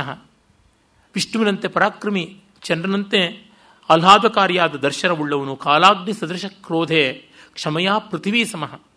ಭಿನ್ನ ಭಿನ್ನ ಗುಣಗಳು, ವಿರುದ್ಧ ಗುಣಗಳು ಸಮವಾಯವಾದಂಥ ಹೊಂದಿಕೆಯನ್ನು ಇವನ್ನೆಲ್ಲವನ್ನು ಹೇಳಿಕೊಂಡು ಬರ್ತಾರೆ. ತುಂಬ ವಿಸ್ತಾರ ಇದೆ. ಅಲ್ಲಿಂದ ಆರಂಭ ಮಾಡಿ ಬಾಲಕಾಂಡ ಇಲ್ಲಿ ವಿಸ್ತರಿಸಿ ಬಂದಿಲ್ಲ. ಇದನ್ನೇ ಇಟ್ಟುಕೊಂಡು ಎಷ್ಟೋ ಜನ ಬಾಲಕಾಂಡವೆಲ್ಲ ಆಮೇಲೆ ಹೆಚ್ಚಾಗಿ ಬೆಳಕೊಂಡದ್ದು ಅಂತಾರೆ. ಒಪ್ಪೋಣ. ಆದರೆ ಅಲ್ಲಿಯ ಸ್ವಾರಸ್ಯವನ್ನು ಏನು ಮಾಡೋಣ? ಬಾಲಕಾಂಡದಲ್ಲಿ ವಿಶ್ವಾಮಿತ್ರ ಕಥಾನಕ ಬರುತ್ತದಲ್ಲ. ಈ ಬಾಲಕಾಂಡವನ್ನು ಪಕ್ಕಕ್ಕೆ ಇಟ್ಟಿದ್ರೆ ದೇವರು ಅವರ ಮಹಾಬ್ರಾಹ್ಮಣದಂಥ ಗ್ರಂಥ ನಮಗೆ ದಕ್ಕತಿರಲಿಲ್ಲ ಏನು ಮಾಡೋದು? ಆ ನಷ್ಟ ನೆನೆಸ್ಕೊಂಡ್ರೆ ಎಲ್ಲ ಪ್ರಕ್ಷೇಪವನ್ನು ಒಪ್ಕೊಳ್ಳೋಣ ಅಂತ ಅನಿಸುತ್ತೆ. ಅದೇ ರೀತಿಯಲ್ಲಿ ಅಲ್ಲಿ ಬರ್ತಕ್ಕಂಥ ಭಗೀರಥ ಪ್ರಯತ್ನದ ಕಥೆ ಇರ್ಬೋದು ಕುಶನಾಭ ವೃತ್ತ ಅಂತ ಇರಬಹುದು ಆಮೇಲೆ ವಾಮನಾವತರಣದ ಕಥೆ, ಶಿವಪಾರ್ವತಿಯರ ವಿವಾಹದ ಕುಮಾರ ಜನನದ ಕಥೆ ಇತ್ಯಾದಿ ಕಥೆಗಳು ತನ್ನಂತೆಯೇ ಸ್ವಾರಸ್ಯವನ್ನು ಹೊಂದಿವೆ.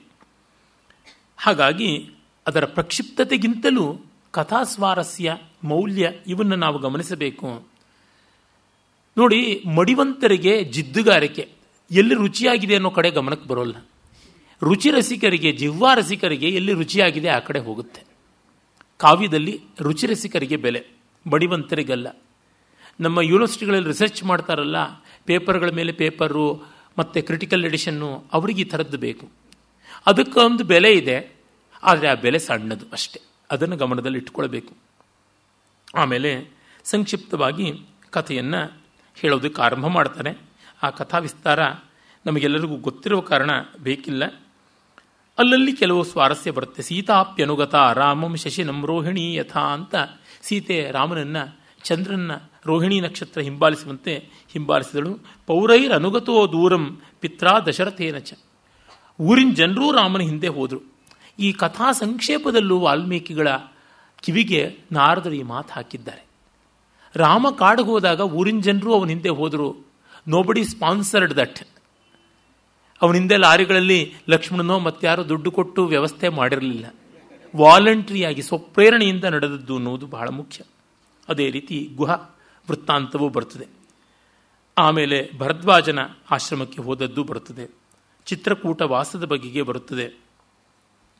ಆಮೇಲೆ ಇನ್ನೊಂದು ಸ್ವಾರಸ್ಯ ಇದೆ. ಭರತ ರಾಮನ ಬಳಿಗೆ ಹೋದಾಗ, ಅಯಾಚತ್ ಭ್ರಾತರಂ ರಾಮಂ ಆರ್ಯಭಾವ ಪುರಸ್ಕೃತ ಅಂತ. ಅಂದರೆ ಆರ್ಯಭಾವ ಯಾವುದು? ಒಂದು ಮರ್ಯಾದೆ, ಒಂದು ಪ್ರೋಟೋಕಾಲ್ ಇದಕ್ಕೆ ಗೌರವ ಕೊಡೋದು. ಅಣ್ಣನಿಗೆ ಪಟ್ಟಾಭಿಷೇಕ ಇಲ್ಲದೆ ತಮ್ಮನಿಗೆ ಆಗಬಾರದು. ಹಿರಿಯರಿಗೊಂದು ಗೌರವ ಬರದೆ ಕಿರಿಯರು ಪಡ್ಕೊಳ್ಳಬಾರ್ದು. ಪರಿವೇತ್ತ ಅಂತ ಕರೀತಾರೆ. ಪರಿವೇತ್ರ ದೋಷ ಬರುತ್ತದೆ. If you violate the genuine seniority ಪ್ರಾಮಾಣಿಕವಾದ ಹಿರಿತನವನ್ನು ನಾವು ಉಲ್ಲಂಘಿಸಿದರೆ ಅದೊಂದು ಪಾತಕ, ಧರ್ಮಶಾಸ್ತ್ರ ದೃಷ್ಟಿಯ ದೋಷ ಅಂತ ಹೇಳಿ ಆ ರೀತಿಯಾದ ಸೂಕ್ಷ್ಮತೆಯನ್ನು ನಾವು ಈ ಸಂಕ್ಷೇಪ ರಾಮಾಯಣದಲ್ಲೂ ನೋಡ್ತೀವಿ. ಆಮೇಲೆ ಅಲ್ಲಿಯೂ ಪಾದುಕೆ ಚಾಸ್ಯ ರಾಜ್ಯಾಯ ನ್ಯಾಸಂ ದತ್ವಾ ಪುನಃ ಪುನಃ ನಿವರ್ತಯ ಮಾಸ ತಥೋ ಭರತಂ ಭರತಾಗ್ರಜ. ಪಾದುಕೆಗಳ ಮೂಲಕವಾಗಿ ರಾಮನ ಸನ್ನದ್ದನ್ನು ಪಡ್ಕೊಂಡು ಬರ್ತಾನೆ ಅಂತ. ಆ ಪಾದುಕೆಯ ಬಗ್ಗೆಯೇ ದೊಡ್ಡ ಚರ್ಚೆ ನಡೆದಿದೆ. ಈ ಪಾದುಕೆ ರಾಮನಿಗೆ ಮೊದಲು ಸಿಕ್ಕಿತ್ತ ಪಾದುಕೆಗಳ ಸಮೇತ ಬಂಧನ ಇಲ್ಲವಾ ಅಂತ. ಈಚೆಗೆ ನಮ್ಮ ಭೈರಪ್ಪನವರು ಕೂಡ ಆ ಬಗೆಗೆ ಉತ್ತರಕಾಂಡ ಕಾದಂಬರಿಯಲ್ಲಿ ವಿಮರ್ಶನೆ ಮಾಡ್ತಾರೆ. ಅರೆ ರಾಮಾಯಣವನ್ನು ಸೂಕ್ಷ್ಮವಾಗಿ ನೋಡಿದ್ರೆ ಪಾದುಕೆ ಹೇಮಭೂಷಿತೆ ಅಂತ ಬರುತ್ತದೆ. ಬಂಗಾರದ ಅಲಂಕಾರ ಇರುವ ಪಾದುಕೆಗಳು.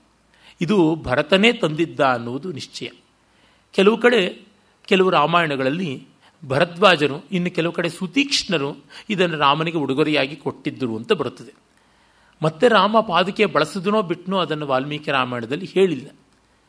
ಆದರೆ ಬಳಸಿದ್ದಿರಬಹುದು ಅಂತ ಅನಿಸುತ್ತದೆ. ಏಕೆಂದರೆ ಕಾಡಿನಲ್ಲಿದ್ದವನು ರಕ್ಷಣೆಗೆ ಏನು ಬೇಕು ಅಂಥದ್ದನ್ನು ಮಾಡಿಕೊಳ್ತಾ ಇದ್ದ ಅಂತ ನಮಗೆ ತಿಳಿಯುವಂಥದ್ದೇ ಆಗಿದೆ. ಪಾದುಕೆಯನ್ನು ಬಂಗಾರದ ಅಲಂಕಾರದ ಪಾದುಕೆಗಳನ್ನು ತೆಗೆದುಕೊಂಡು ಬಂದು ರಾಮನ ಮುಂದೆ ಇಟ್ಟು ಮುಹೂರ್ತ ಮಾತ್ರದಲ್ಲಿ ನಿಲ್ಲಬೇಕು ಅಂತ ಕೇಳಿ, ಆಮೇಲೆ ಅದನ್ನು ತೆಗೆದುಕೊಂಡು ತಲೆಯ ಮೇಲೆ ಇಟ್ಟುಕೊಂಡ ಅಂದಾಗ ಅದು ರಾಜಾರ್ಹವಾದದ್ದು. ರಾಮನನ್ನು ಅಲ್ಲಿಯೇ ಪಟ್ಟಾಭಿಷೇಕ ಮಾಡಿ ಕರ್ಕೊಂಡು ಹೋಗಬೇಕು ಅಂತ ಭಾವಿಸಿದ್ದ ಅಂತ ಕೂಡ ನಮಗೆ ತಿಳಿಯುತ್ತದೆ. ಏನಂದರೆ, ಇವೆಲ್ಲ ಸಣ್ಣ ವಿಷಯಗಳು. ಆದರೆ, ಈ ರೀತಿಯಾಗಿ ಮೈಕ್ರೋ ಮ್ಯಾನೇಜ್ಮೆಂಟ್ ಮಾಡ್ತಾ ಇದ್ದರೆ ಅದನ್ನೂ ಕಾವ್ಯದಲ್ಲಿ ಆಧಾರಗಳನ್ನು ಕೊಟ್ಟು ಹೇಳಬೇಕಾಗುತ್ತದೆ. ಅದಕ್ಕಾಗಿ ನಾನು ಹೇಳಿದೆ ವಿರಾಧ, ಆಮೇಲೆ ಸುತೀಕ್ಷ್ಣ ಇತ್ಯಾದಿಗಳ ವೃತ್ತಾಂತವನ್ನೆಲ್ಲ ಅಗಸ್ತ್ಯ ಇತ್ಯಾದಿಗಳು ವಿರಾಧ, ರಾಕ್ಷಸ, ಅವನ ಸಂಹಾರ, ಅಗಸ್ತ್ಯ, ಸುತೀಕ್ಷ್ಣ, ಶರಭಂಗ ಇತ್ಯಾದಿಗಳ ದರ್ಶನ ಇವನ್ನೆಲ್ಲವನ್ನೂ ಕೂಡ ನಾವು ನೋಡ್ತೀವಿ ಈ ಸಂಕ್ಷೇಪದಲ್ಲಿ ಕೂಡ. ಆಮೇಲೆ ಜನಸ್ಥಾನದಲ್ಲಿ ಶೂರ್ಪಣಕ ವೃತ್ತಾಂತ ಬರುತ್ತದೆ. ಅದಾದ ಮೇಲೆ ಖರದೂಷಣಾದಿಗಳ ವಧೆ, ಮತ್ತು ಮಾರೀಚನ ಮಾಯಾಮೃಗತ್ವ, ಸೀತಾಪಹರಣ, ಇಲ್ಲಿ ಶೋಕೇನ ಗೃಧ್ರಂ ದಗ್ಧ್ವಾ ಜಟಾಯುಷಂ ಬಿಲಲಾಪ ಆಕುಲೇಂದ್ರಿಯ. ಜಟಾಯುವಿನ ಅಂತ್ಯಷ್ಟಿಯನ್ನು ರಾಮ ಮಾಡಿದ್ದನ್ನು ಹೇಳಿರುವಂಥದ್ದು ಸ್ವಾರಸ್ಯಕಾರಿ. ಅಂದರೆ ನೂರು ಶ್ಲೋಕಗಳಲ್ಲಿ ರಾಮಾಯಣ ಸಂಕ್ಷೇಪ ಮಾಡುವಾಗಲೂ ಇಂಥ ವಿವರಗಳು ಬಿಟ್ಟು ಹೋಗದೆ ಇರೋದಿದೆಯಲ್ಲ, ಅದು ಸಂಗ್ರಹದ ಮನೋಧರ್ಮವನ್ನು ತೋರಿಸುತ್ತದೆ. ಆಮೇಲೆ ಗೃಧ್ರಂಚ ನಿಹತಂ ದೃಷ್ಟ ಶುತ್ವಾ ಹೃತಾಂ ಹೃತ್ವ, ಹೃತಾಂ ಶುತ್ವಾಚ ಮೈಥಿಲಿಂ, ರಾಘವ ಶೋಪ, ಶೋಕ ಸಂತಪ್ತ, ವಿಲಲಾಪ ಆಕುಲೇಂದ್ರಿಯ ಅಂತನ್ನುವಲ್ಲಿ. ಅದಾದಮೇಲೆ ಕಬಂಧ ಸಂಹಾರ, ಮತ್ತು ಶಬರಿ, ಅಲ್ಲಿ ಶಬರಿಂ, ಧರ್ಮಚಾರಿಣೀಂ ಅಂತ, ಮತ್ತೆ ಶಬರಿಗೆ ವಿಶೇಷಣವನ್ನು ಕೊಟ್ಟಿದ್ದಾನೆ. ಶಬರ್ಯಾ ಪೂಜಿತ ಅಂತ, ಮತ್ತೊಮ್ಮೆ ಹನುಮತ ಸಂಗತ ಅಂತ, ಹನುಮಂತನ ಸಮಾಗಮವನ್ನು, ಸುಗ್ರೀವನ ವೃತ್ತಾಂತವನ್ನು, ವಾಲಿವಧೆಯನ್ನು ಆ ದುಂದುಭಿಯ ಅಸ್ಥಿಪಂಜರವನ್ನು ಮೀಟಿದ್ದು, ಹೀಗೆ ರಾಮನ ಪರಾಕ್ರಮಕ್ಕೆ ನಿದರ್ಶನವಾಗುವುದು, ಸಪ್ತತಾಲ ಭೇದನದ್ದು, ಇವನ್ನೆಲ್ಲವನ್ನೂ ನಾವು ನೋಡ್ತಾ ಬರ್ತೀವಿ. ಸಾಕಷ್ಟು ವಿವರವಾಗಿಯೇ ಈ ವಾಲಿವತೆಯ ಪ್ರಸ್ತಾವವನ್ನು ನಾವು ಕಾಣ್ತೀವಿ. ಆಮೇಲೆ ಸೀತಾನ್ವೇಷಣೆಗಾಗಿ ಇವರೆಲ್ಲ ವಾನರರು ಹೊರಟಿದ್ದು, ಸಂಪಾತಿಯ ವೃತ್ತ ಅಂತ. ಮತ್ತು ಆ ಅಶೋಕವನದ ಧ್ವಂಸ, ಸೀತಾ ದರ್ಶನ, ರಾವಣನ ಲಂಕೆಯನ್ನು ಸುಡುವುದು, ಇದೆಲ್ಲ ಈ ಸಂಕ್ಷೇಪದಲ್ಲೇ ಬಂದು ಅದಾದ ಮೇಲೆ ರಾಮ ಮತ್ತೆ ಸೇತುವೆಯನ್ನು ಕಟ್ಟಿ ರಾಮ ಸೀತಾಂ ಅನುಪ್ರಾಪ್ಯ ಪರಾಂ ವ್ರೀಡಾಂ ಉಪಾಗಮತ್. ಎಲ್ಲ ಯುದ್ಧದಲ್ಲಿ ಗೆದ್ದ. ಅದನ್ನು ಒಂದು ಚುಟಿಕೆ ಚಪ್ಪಡದಂತೆ ಹೇಳಿಬಿಟ್ಟಿದ್ದಾನೆ ಕವಿ. ಒಂದೇ ಮಾತಿನಲ್ಲಿ ಹೇಳಿದ್ದಾನೆ. ಅದು ಒಂದು ಒಂದೇ ಮಾತಲ್ಲಿ ನೋಡಿ ಬಂದಿರತಕ್ಕಂಥದ್ದು. ತೇನ ಗತ್ವಾ ಪುರೀಂ ಲಂಕಾಂ ಹತ್ವಾ ರಾವಣ ಮಾಹವೆ. ಅರ್ಧ ಶ್ಲೋಕದಲ್ಲಿ. ಸೀತೆಯನ್ನ ಕರೆಸಿ ಅವಳು ಹೀಗೆ ಅಪಹೃತಳಾಗಿದ್ದಳು ಅನ್ನೋದಕ್ಕಾಗಿ ತುಂಬ ಬಗೆಯಲ್ಲಿ ಲಜ್ಜೆ ಉಂಟಾಯಿತು, ಪರಾಂ ವ್ರೀಡಾಂ ಉಪಾಗಮತ್ ಅಂತ ಯಾಕೆಂದರೆ ಲೋಕದ ಆಡಿಕೆಯ ಮಾತು ಗಾಸಿಪ್, ಅದಕ್ಕೆ ರಾಮ ಅಂಜುತ್ತಾ ಇದ್ದ. ಇದು ತಪ್ಪಾ ಸರಿನಾ? ದೊಡ್ಡ ಪ್ರಶ್ನೆ. ಆದರೆ ನಾಯಕನಾದವನಿಗೆ ಒಂದು ಮಟ್ಟಕ್ಕೆ ಅವುಗಳಿಗೆ ಬೆಲೆ ಕೊಡೋದು ಅನಿವಾರ್ಯವಾಗುತ್ತದೆ. Wearer knows where the shoe pinches ಅಂತ ಹೇಳಬೇಕು. ಸೀತೆಗೆ ಅನ್ಯಾಯವಾಯಿತು. ಅರೆ ರಾಮನಿಗೂ ಅನ್ಯಾಯವಾಯಿತು. ಇಲ್ಲಿ ನಾವು ಅಯೋಧ್ಯೆಯ ಪ್ರಜೆಗಳ ದುಷ್ಟತೆಯನ್ನು, ಲೋಕಸಾಮಾನ್ಯ ಸ್ವಭಾವ ದುಷ್ಟತೆಯನ್ನು ಮರೆಯಬಾರದು ಅಂತ ನನಗನ್ಸುತ್ತದೆ. ರಾಮನನ್ನು ಒಬ್ಬನ್ನೇ ಟಾರ್ಗೆಟ್ ಮಾಡಿದ್ರೆ ನಮಗೆ ಸಿಗುವುದು ಕಡಿಮೆ. ಪ್ರಜೆಗಳಲ್ಲಿರುವ ಮನೋಧರ್ಮ, ಮತ್ತು ಸ್ಥಾನದಲ್ಲಿದ್ದವರು ವಿಶ್ವಾಸಾರ್ಹರಾಗಬೇಕು, ಜಗತ್ತಿಗೆ ನಂಬಿಕೆಗೆ ಅರ್ಹರಾಗಬೇಕು, ಹೀಗಿಲ್ಲದೇ ಇದ್ದರೆ ಅವರಿಗೆ ಉಳಿಯೋದಕ್ಕೆ ಆಗೋದಿಲ್ಲ ಅನ್ನುವುದನ್ನೆಲ್ಲ ಗಮನಿಸಬೇಕಾಗುತ್ತದೆ. ಇರಲಿ. ಸೀತಾಜ್ಞೆ ಪ್ರವೇಶದ ಮಾತು ಬಂದಿದೆ. ತುಂಬ ಕಠೋರವಾದ ಸಂದರ್ಭ ಅದು. ಯಾರಿಗೂ ಅದನ್ನು ಓದುವಾಗ ರಾಮನ ಬಗ್ಗೆ ಒಳ್ಳೆಯ ಅಭಿಪ್ರಾಯ ಬರೋಲ್ಲ. ಆದರೆ ಸೀತೆಗೆ ರಾಮನ ಮೇಲೆ ಒಳ್ಳೆಯ ಅಭಿಪ್ರಾಯ ಇರುವಾಗ ನಾವೇನು ಮಾಡೋಣ? ಸೀತೆಗೆ ರಾಮನ ಮೇಲೆ ಒಂದು ಸ್ವಲ್ಪ ಸದಭಿಪ್ರಾಯ ಇರಲಿಲ್ಲ ಅನ್ನುವಂತೆ ರಾಮಾಯಣದಲ್ಲಿ ಕಾಣೋಲ್ಲ. ಇದನ್ನು ನಾವು ಮರೆಯಬಾರದು. ಯಾಕಾಗಿದ್ದಿರಬೇಕು? ಸೀತೆಯ ಪಾಲಿಗೆ ಅವನಷ್ಟು ಮುಖ್ಯವಾಗಿದ್ದ ಬೇಕಾದವನಾಗಿದ್ದ. ನಮಗೆ ಕೆಲವು ಬಾರಿ ಅನಿಸುತ್ತದೆ, ಯಾಕೆ ಇವರು ಹಿಂಗೆ ಆಡ್ತಾರೆ ಅಂತ. ವಲ್ಲಭಭಾಯ್ ಪಟೇಲ್ ಅಂತವರು ಗಾಂಧಿಗೆ ಯಾಕೆ ಅಷ್ಟು ಮಣೆ ಹಾಕ್ತಾ ಇದ್ರು ಅಂತ ನನಗೆ ಎಷ್ಟೋ ಬಾರಿ ಅನಿಸ್ತಿದೆ ಈಗಲೂ ಅನಿಸ್ತಿದೆ. ಏನು ಮಾಡೋಣ? ಅವ್ರಿಗೇನು ಮರಳು ಮಾಡಿದ್ರು? ಯಾರಿಗೆ ಗೊತ್ತು? ಹೀಗಾಗಿ ನಾವು ಸಾರ್ವಜನಿಕವಾದ ವಿಷಯ ಇದ್ದರೆ ಚರ್ಚೆ ಮಾಡಬಹುದು ವೈಯಕ್ತಿಕವಾದ ವಿಚಾರದಲ್ಲಿ ಚರ್ಚೆ ಮಾಡೋಕ್ಕಾಗೋಲ್ಲ. ಅವರುಂಟು, ಇವರುಂಟು. ನಾವೇನೂ ಅಲ್ಲ. ಒಂದು ತೆಲುಗಿನ ಗಾದೆ ಉಂಟಲ್ಲ, ಆ ದೂಡ ಅರಚಲೇದು, ದುತ್ತಿ ಅರಚಿಕೊಂಡಿಂದಿ ಅಂತ. ಹಾಲು ಕರಿವು ಹೊತ್ತಾಗಿದೆ. ಹಸುವು ಕೆಚ್ಚಲು ಭಾರವಾಗ್ತಾ ಇದೆ ಅಂತ ಕೂಗಲಿಲ್ಲ. ಕರುವು ತನಗೆ ಹಸುವಾಗ್ತಾ ಇದೆ ಅಂತ ಕೂಗಲಿಲ್ಲ. ಕರೆಯುವ ಪಾತ್ರೆ ಇದೆಯಲ್ಲ, ಅದು ಎಗರಾಡ್ತಾ ಇದೆಯಂತೆ. ಹಾಲು ಕರೆಯುವ ಹೊತ್ತು, ಹಾಲು ಕರೆಯುವ ಹೊತ್ತು ಅಂತ. ನಾವು ಇಲ್ಲೆಲ್ಲ ತುಂಬ ಜಿದ್ದು ಮಾಡಬಾರದು ಅಂತ ನನಗನ್ನಿಸುತ್ತದೆ ಸೀತೆಯನ್ನು ನಾವು ಪ್ರಮಾಣವಾಗಿ ತೆಗೆದುಕೊಳ್ಳಬೇಕು. ಕಾಳಿದಾಸನಿಗೆ ಸೂಕ್ಷ್ಮ ಗೊತ್ತಾಗಿತ್ತು ಅಂತ ಅನಿಸುತ್ತದೆ.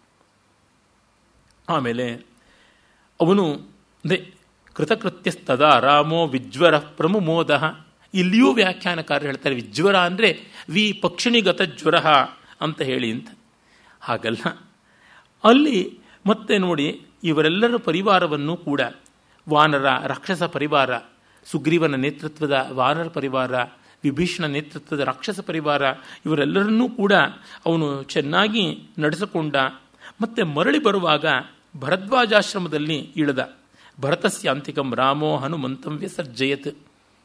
ರಾಮ ಆ ಋಷಿಗಳನ್ನು ನೋಡುವುದು, ಅವ್ರ ಜೊತೆ ಮಾತಾಡೋದು, ಇದರೊಳಗೆ ತುಂಬ ಗಮನ ಇಟ್ಟುಕೊಂಡಿದ್ದ ಅಂತ ಗೊತ್ತಾಗುತ್ತದೆ.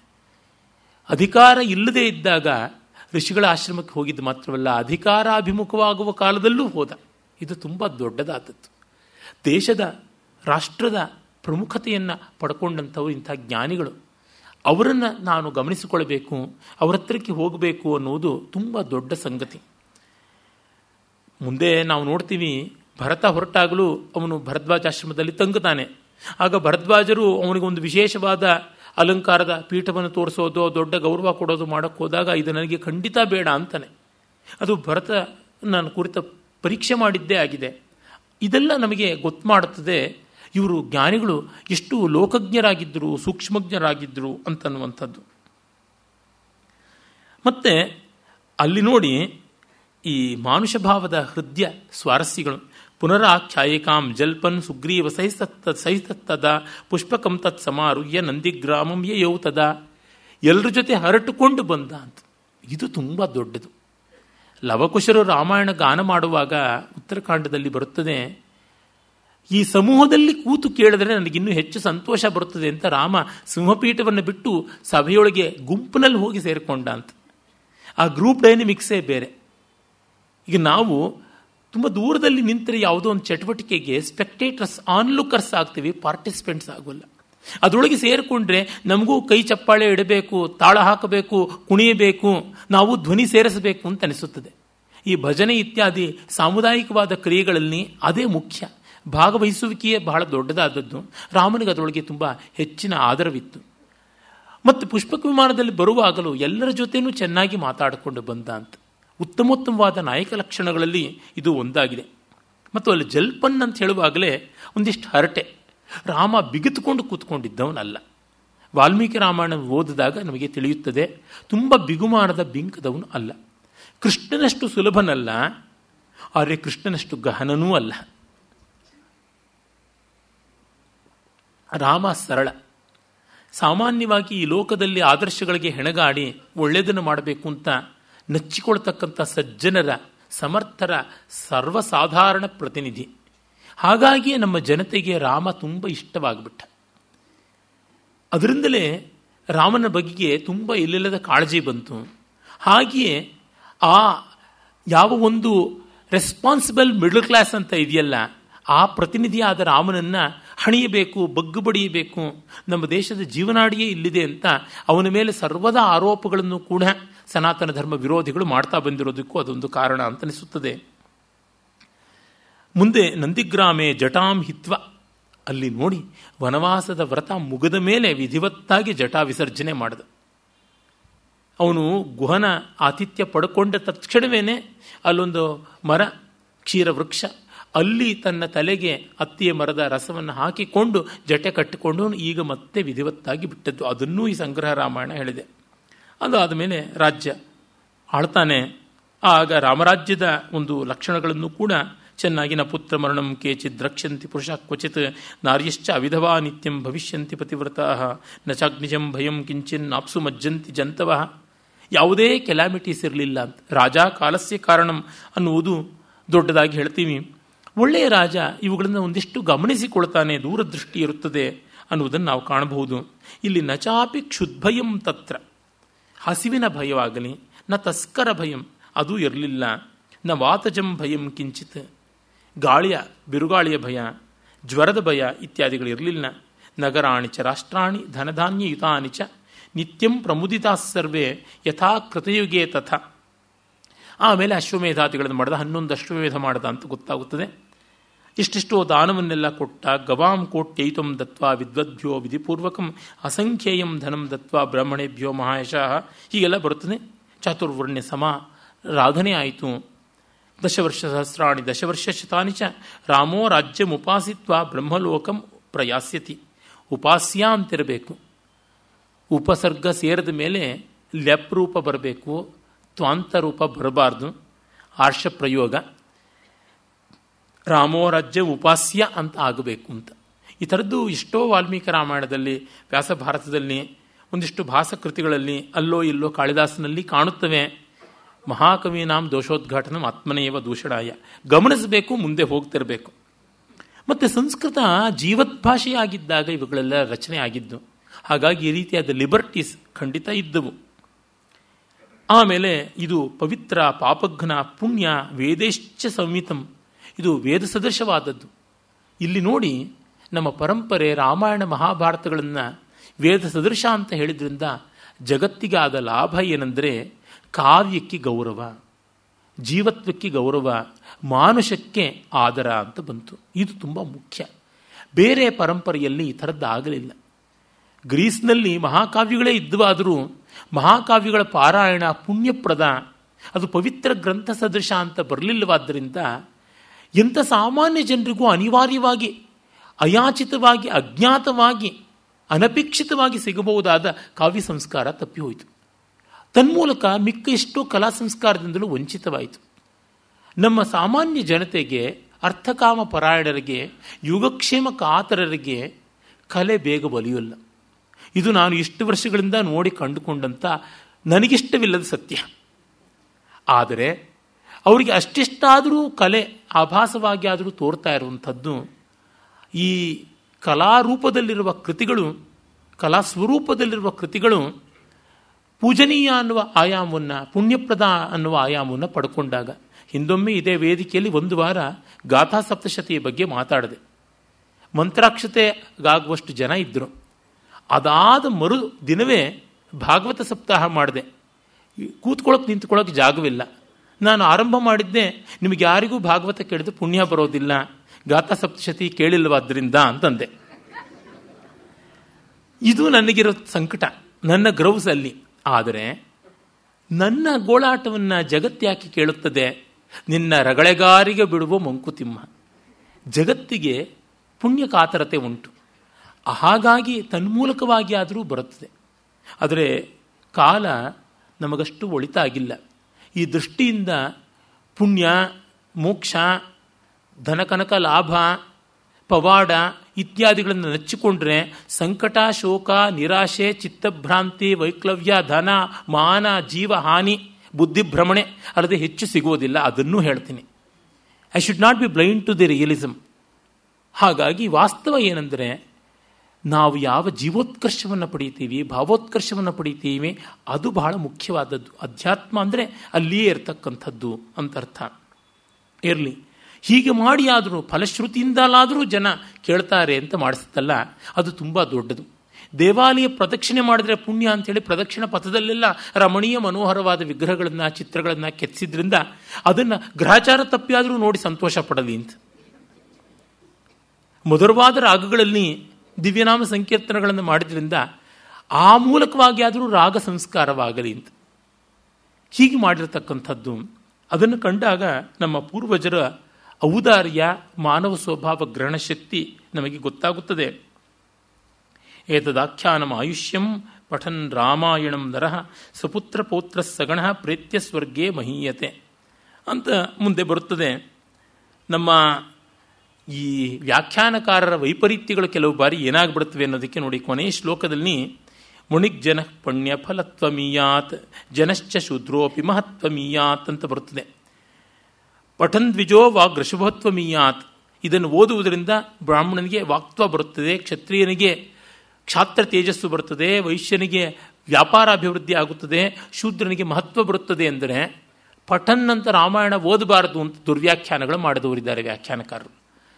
ಇವೆಲ್ಲರೂ ಎಲ್ಲರೂ ಓದಬಹುದು ಅಂತಲೇ ಮಾಡಿರ್ತಕ್ಕಂಥದ್ದು, ಎಲ್ಲರೂ ಓದಬೇಕು ಅಂತಲೇ ಮಾಡಿರತಕ್ಕಂಥದ್ದು. ಅಲ್ಲಿಯೂ ಮತ್ತೆ ಈ ಅಪಸವ್ಯದ ದುರಾಲೋಚನೆಗಳು ಬಂದಿವೆ ಅಂದರೆ ಎಷ್ಟು ಕೆಟ್ಟತನ, ಸಣ್ಣತನ, ಅವಿವೇಕ ಅಂತ ಗೊತ್ತಾಗುತ್ತದೆ. ಅಂಧಶ್ರದ್ಧೆ, ಶ್ರದ್ಧಾಭಾಸ, ಕೂಪಮಂಡೂಕತ್ವ, ಕೂಪಕಚ್ಚಪತ್ವ ಎಲ್ಲ ಕಾಣಿಸುತ್ತದೆ. ಇದನ್ನು ನಾವು ಸ್ಪಷ್ಟವಾಗಿ ಖಂಡಿಸಬೇಕಾಗುತ್ತದೆ. ಸಮಸ್ತ ಜ್ಞಾನರಾಶಿಗೂ ಎಲ್ಲರಿಗೂ ಅವಕಾಶ ಈಗಿದ್ದೇ ಇದೆ. ಒಂದು ಕಾಲದಲ್ಲಿ ವೇದಕ್ಕೆ ಅಡ್ಡಿ ಮಾಡಿಕೊಂಡಿದ್ರು. ಅದು ಯುಕ್ತವಲ್ಲ. ಏನೋ ಮಾಡಿದನು. ಆ ಕಾಲಕ್ಕೆ ನಡೆಯಿತು ಆದರೆ ಇತರ ಎಲ್ಲರಿಗೂ ಅಂತ ಮಾಡಿಕೊಟ್ಟಂಥದ್ದು ಆ ಕಾಲದಲ್ಲಿ ಅದಕ್ಕೂ ಕೂಡ ಅಡ್ಡಿ ಮಾಡುವಂಥ ಮನಸ್ತತ್ವ ಬಂತು. ಅಲ್ಲಿ ನಮ್ಮ ಪರಂಪರೆ ಒಂದಿಷ್ಟು ಹ್ರಾಸವಾಯಿತು ಅಂತ ನಮಗೆ ಗೊತ್ತಾಗುತ್ತದೆ. ಹೀಗೆ ನಾರದರ ಬಾಯಿಂದ ಕಥೆ ಕೇಳಿದ ಮೇಲೆ ಮಹರ್ಷಿಗಳು ಹಾಗೆ ಅವರಿಗೆ ಗೌರವ ಕೊಟ್ಟು ಸಮುಹೂರ್ತಂ ಗತೆ ತಸ್ಮಿನ್ ದೇವಲೋಕಂ ಮುನಿಸ್ತದ ಜಗಾಮ ತಮಸಾ ತೀರಂ ಜಹ್ನವ್ಯಾಸ್ತ್ವವಿದೂರತಃ. ಗಂಗೆಗೆ ತುಂಬ ದೂರವಲ್ಲದ ತಮಸಾ ನದಿ ಕಡೆಗೆ ಸ್ನಾನಕ್ಕೆ ಹೋದರು ಅಂತ. ಅದು ಗಂಗೆ ಒಂದು ಉಪನದಿ ಅಂತ ಹೇಳ್ತಾರೆ. ಹಿಮಾಲಯದ ಪ್ರಾಂತಗಳಲ್ಲಿ ಇರತಕ್ಕಂಥದ್ದು ಅಲ್ಲಿ ತೀರದಲ್ಲಿ ನೋಡ್ತಾ ಇದು ತುಂಬ ಸುಂದರವಾದ ಚಿತ್ರಣ. ಕಾವ್ಯ ಹೇಗೆ ಹುಟ್ಟಿತು ಅನ್ನೋದು. ಕಾವ್ಯಕ್ಕೆ ಬೀಜ ಬಂತು, ಇನ್ನು ಮೊಳಕೆ ಒಡೆದದ್ದು ಹೇಗೆ ಅಂತ ಕಾವ್ಯಾಂಕುರ ಅಂತ ಕರೀಬಹುದು. ಇದನ್ನು ಕವಿತಾವತಾರ ಅಂತಲೇ ತುಂಬ ಸುಂದರವಾಗಿ ಹೇಳಬಹುದಾದದ್ದು. ಶಿಷ್ಯ ಭರದ್ವಾಜ ಇದ್ದ. ಶಿಷ್ಯಮಾಹ ಸ್ಥಿತಂ ಪಾರ್ಶ್ವೇ ದೃಷ್ಟ್ವಾ ತೀರ್ಥಮಕರ್ದಮಂ. ತೀರ್ಥ, ನೀರು, ನಿರ್ಮಲವಾಗಿ ಕೆಸರಿಲ್ಲದೆ ರಾಮಾಯಣ ಕಥೆಯಂತೆ ಪಾವಕವಾಗಿತ್ತು. ಅಕರ್ದಮಮಿದಂ ತೀರ್ಥಂ ಭರದ್ವಾಜ ನಿಶಾಮಯ. ಭರದ್ವಾಜ ನಿಶಾಮಯ ನೋಡು. ಅಲ್ಲಿ ನಿಶಾಮಯ ಅನ್ನೋದಕ್ಕೆ ಕೇಳು ಅನ್ನೋ ಅರ್ಥನೂ ಇದೆ. ಕೇಳು, ನನ್ನ ಮಾತು ಕೇಳು. ಇದು ಕೆಸರಿಲ್ಲದೆ ಇರುವ ನೀರು ರಮಣೀಯಂ ಪ್ರಸನ್ನಾಂಬು ಸನ್ಮನುಷ್ಯ ಮನೋ ಯಥಾ. ಅಲ್ಲಿಯೇ ವಾಲ್ಮೀಕಿಗಳಿಗೆ ಕವಿತ್ವ ಬಂದುಬಿಟ್ಟಿದೆ. ರಮಣೀಯಂ ಪ್ರಸನ್ನಾಂಬು ಸ್ವಭಾವೋಕ್ತಿ ಆದರೆ ಸನ್ಮನುಷ್ಯ ಮನೋಯಥ ವಕ್ರೋಕ್ತಿ. ತಿಳಿಯಾದ, ಹಿತಕಾರಿಯಾದ ನೀರು ಸಜ್ಜನನ ಮನಸ್ಸಿನ ಹಾಗೆ ಇದೆ ಅಂತ. ನ್ಯಸ್ಯತಾಂ ಕಲಶಸ್ತಾತ ದಿಯತಾಂ ವಲ್ಕಲಂ ಮಮ. ವಾಲ್ಮೀಕಿ ಶಿಷ್ಯನಿಗೆ ಎಷ್ಟು ಮರ್ಯಾದೆ ಕೊಡ್ತಾರೆ ನೋಡಿ, ಕಟ್ಟಿಸಿ. ನೆಸ್ಯತಾಂ ಇಡೋಣವಾಗಲಿ, ದಿಯತಾಂ ಕೊಡೋಣವಾಗಲಿ. ಡಿ ವಿ ಜಿಯವರು ನೋಡೋಣವಾಗಲಿ ಆಲೋಚಿಸೋಣವಾಗಲಿ, ಸಮಾಲೋಚನೆ ಮಾಡುವುದಾ, ಮಾಡೋಣವಾಗಲಿ, ಗ್ರಂಥಗಳನ್ನು ಅವಲೋಕಿಸುವುದಾಗಲಿ ಈ ಥರ ಹೇಳ್ತಾ ಇದ್ರಂತೆ. ನೋಡಿ, ಮಾಡಿ, ನೋಡು, ಮಾಡು ಹೀಗೆ ಹೇಳ್ತಿರಲಿಲ್ಲ.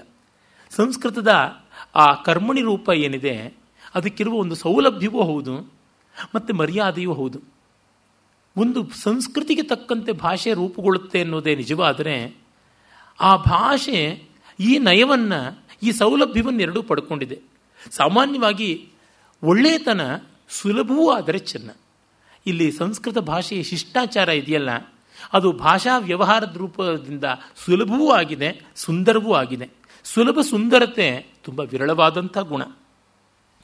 ಇಲ್ಲಿ ಪಾತ್ರೆ ಇಡಪ್ಪ, ಇಲ್ಲಿ ಬಟ್ಟೆ ಕೊಡಪ್ಪ ಅಂತ ಅಂದುಕೊಂಡು ಇದಮೇ ವಾವಗಾಹಿಷ್ಯೆ, ತಮಸಾ ತೀರ್ಥಮುತ್ತಮಂ ಇದನ್ನು ಅನುವಾದ ಮಾಡ್ತಾ ನಮ್ಮ ಗುರುಗಳ ರಂಗನಾಥ್ ಶರ್ಮರು, ಮಗು ಭರದ್ವಾಜ, ಕಮಂಡಲವನ್ನು ಕೆಳಗಿಟ್ಟು ನನ್ನ ವಲ್ಕಲವನ್ನು ಕೊಡಪ್ಪ ಅಂತ ಅನುವಾದ ಮಾಡ್ತಾರೆ.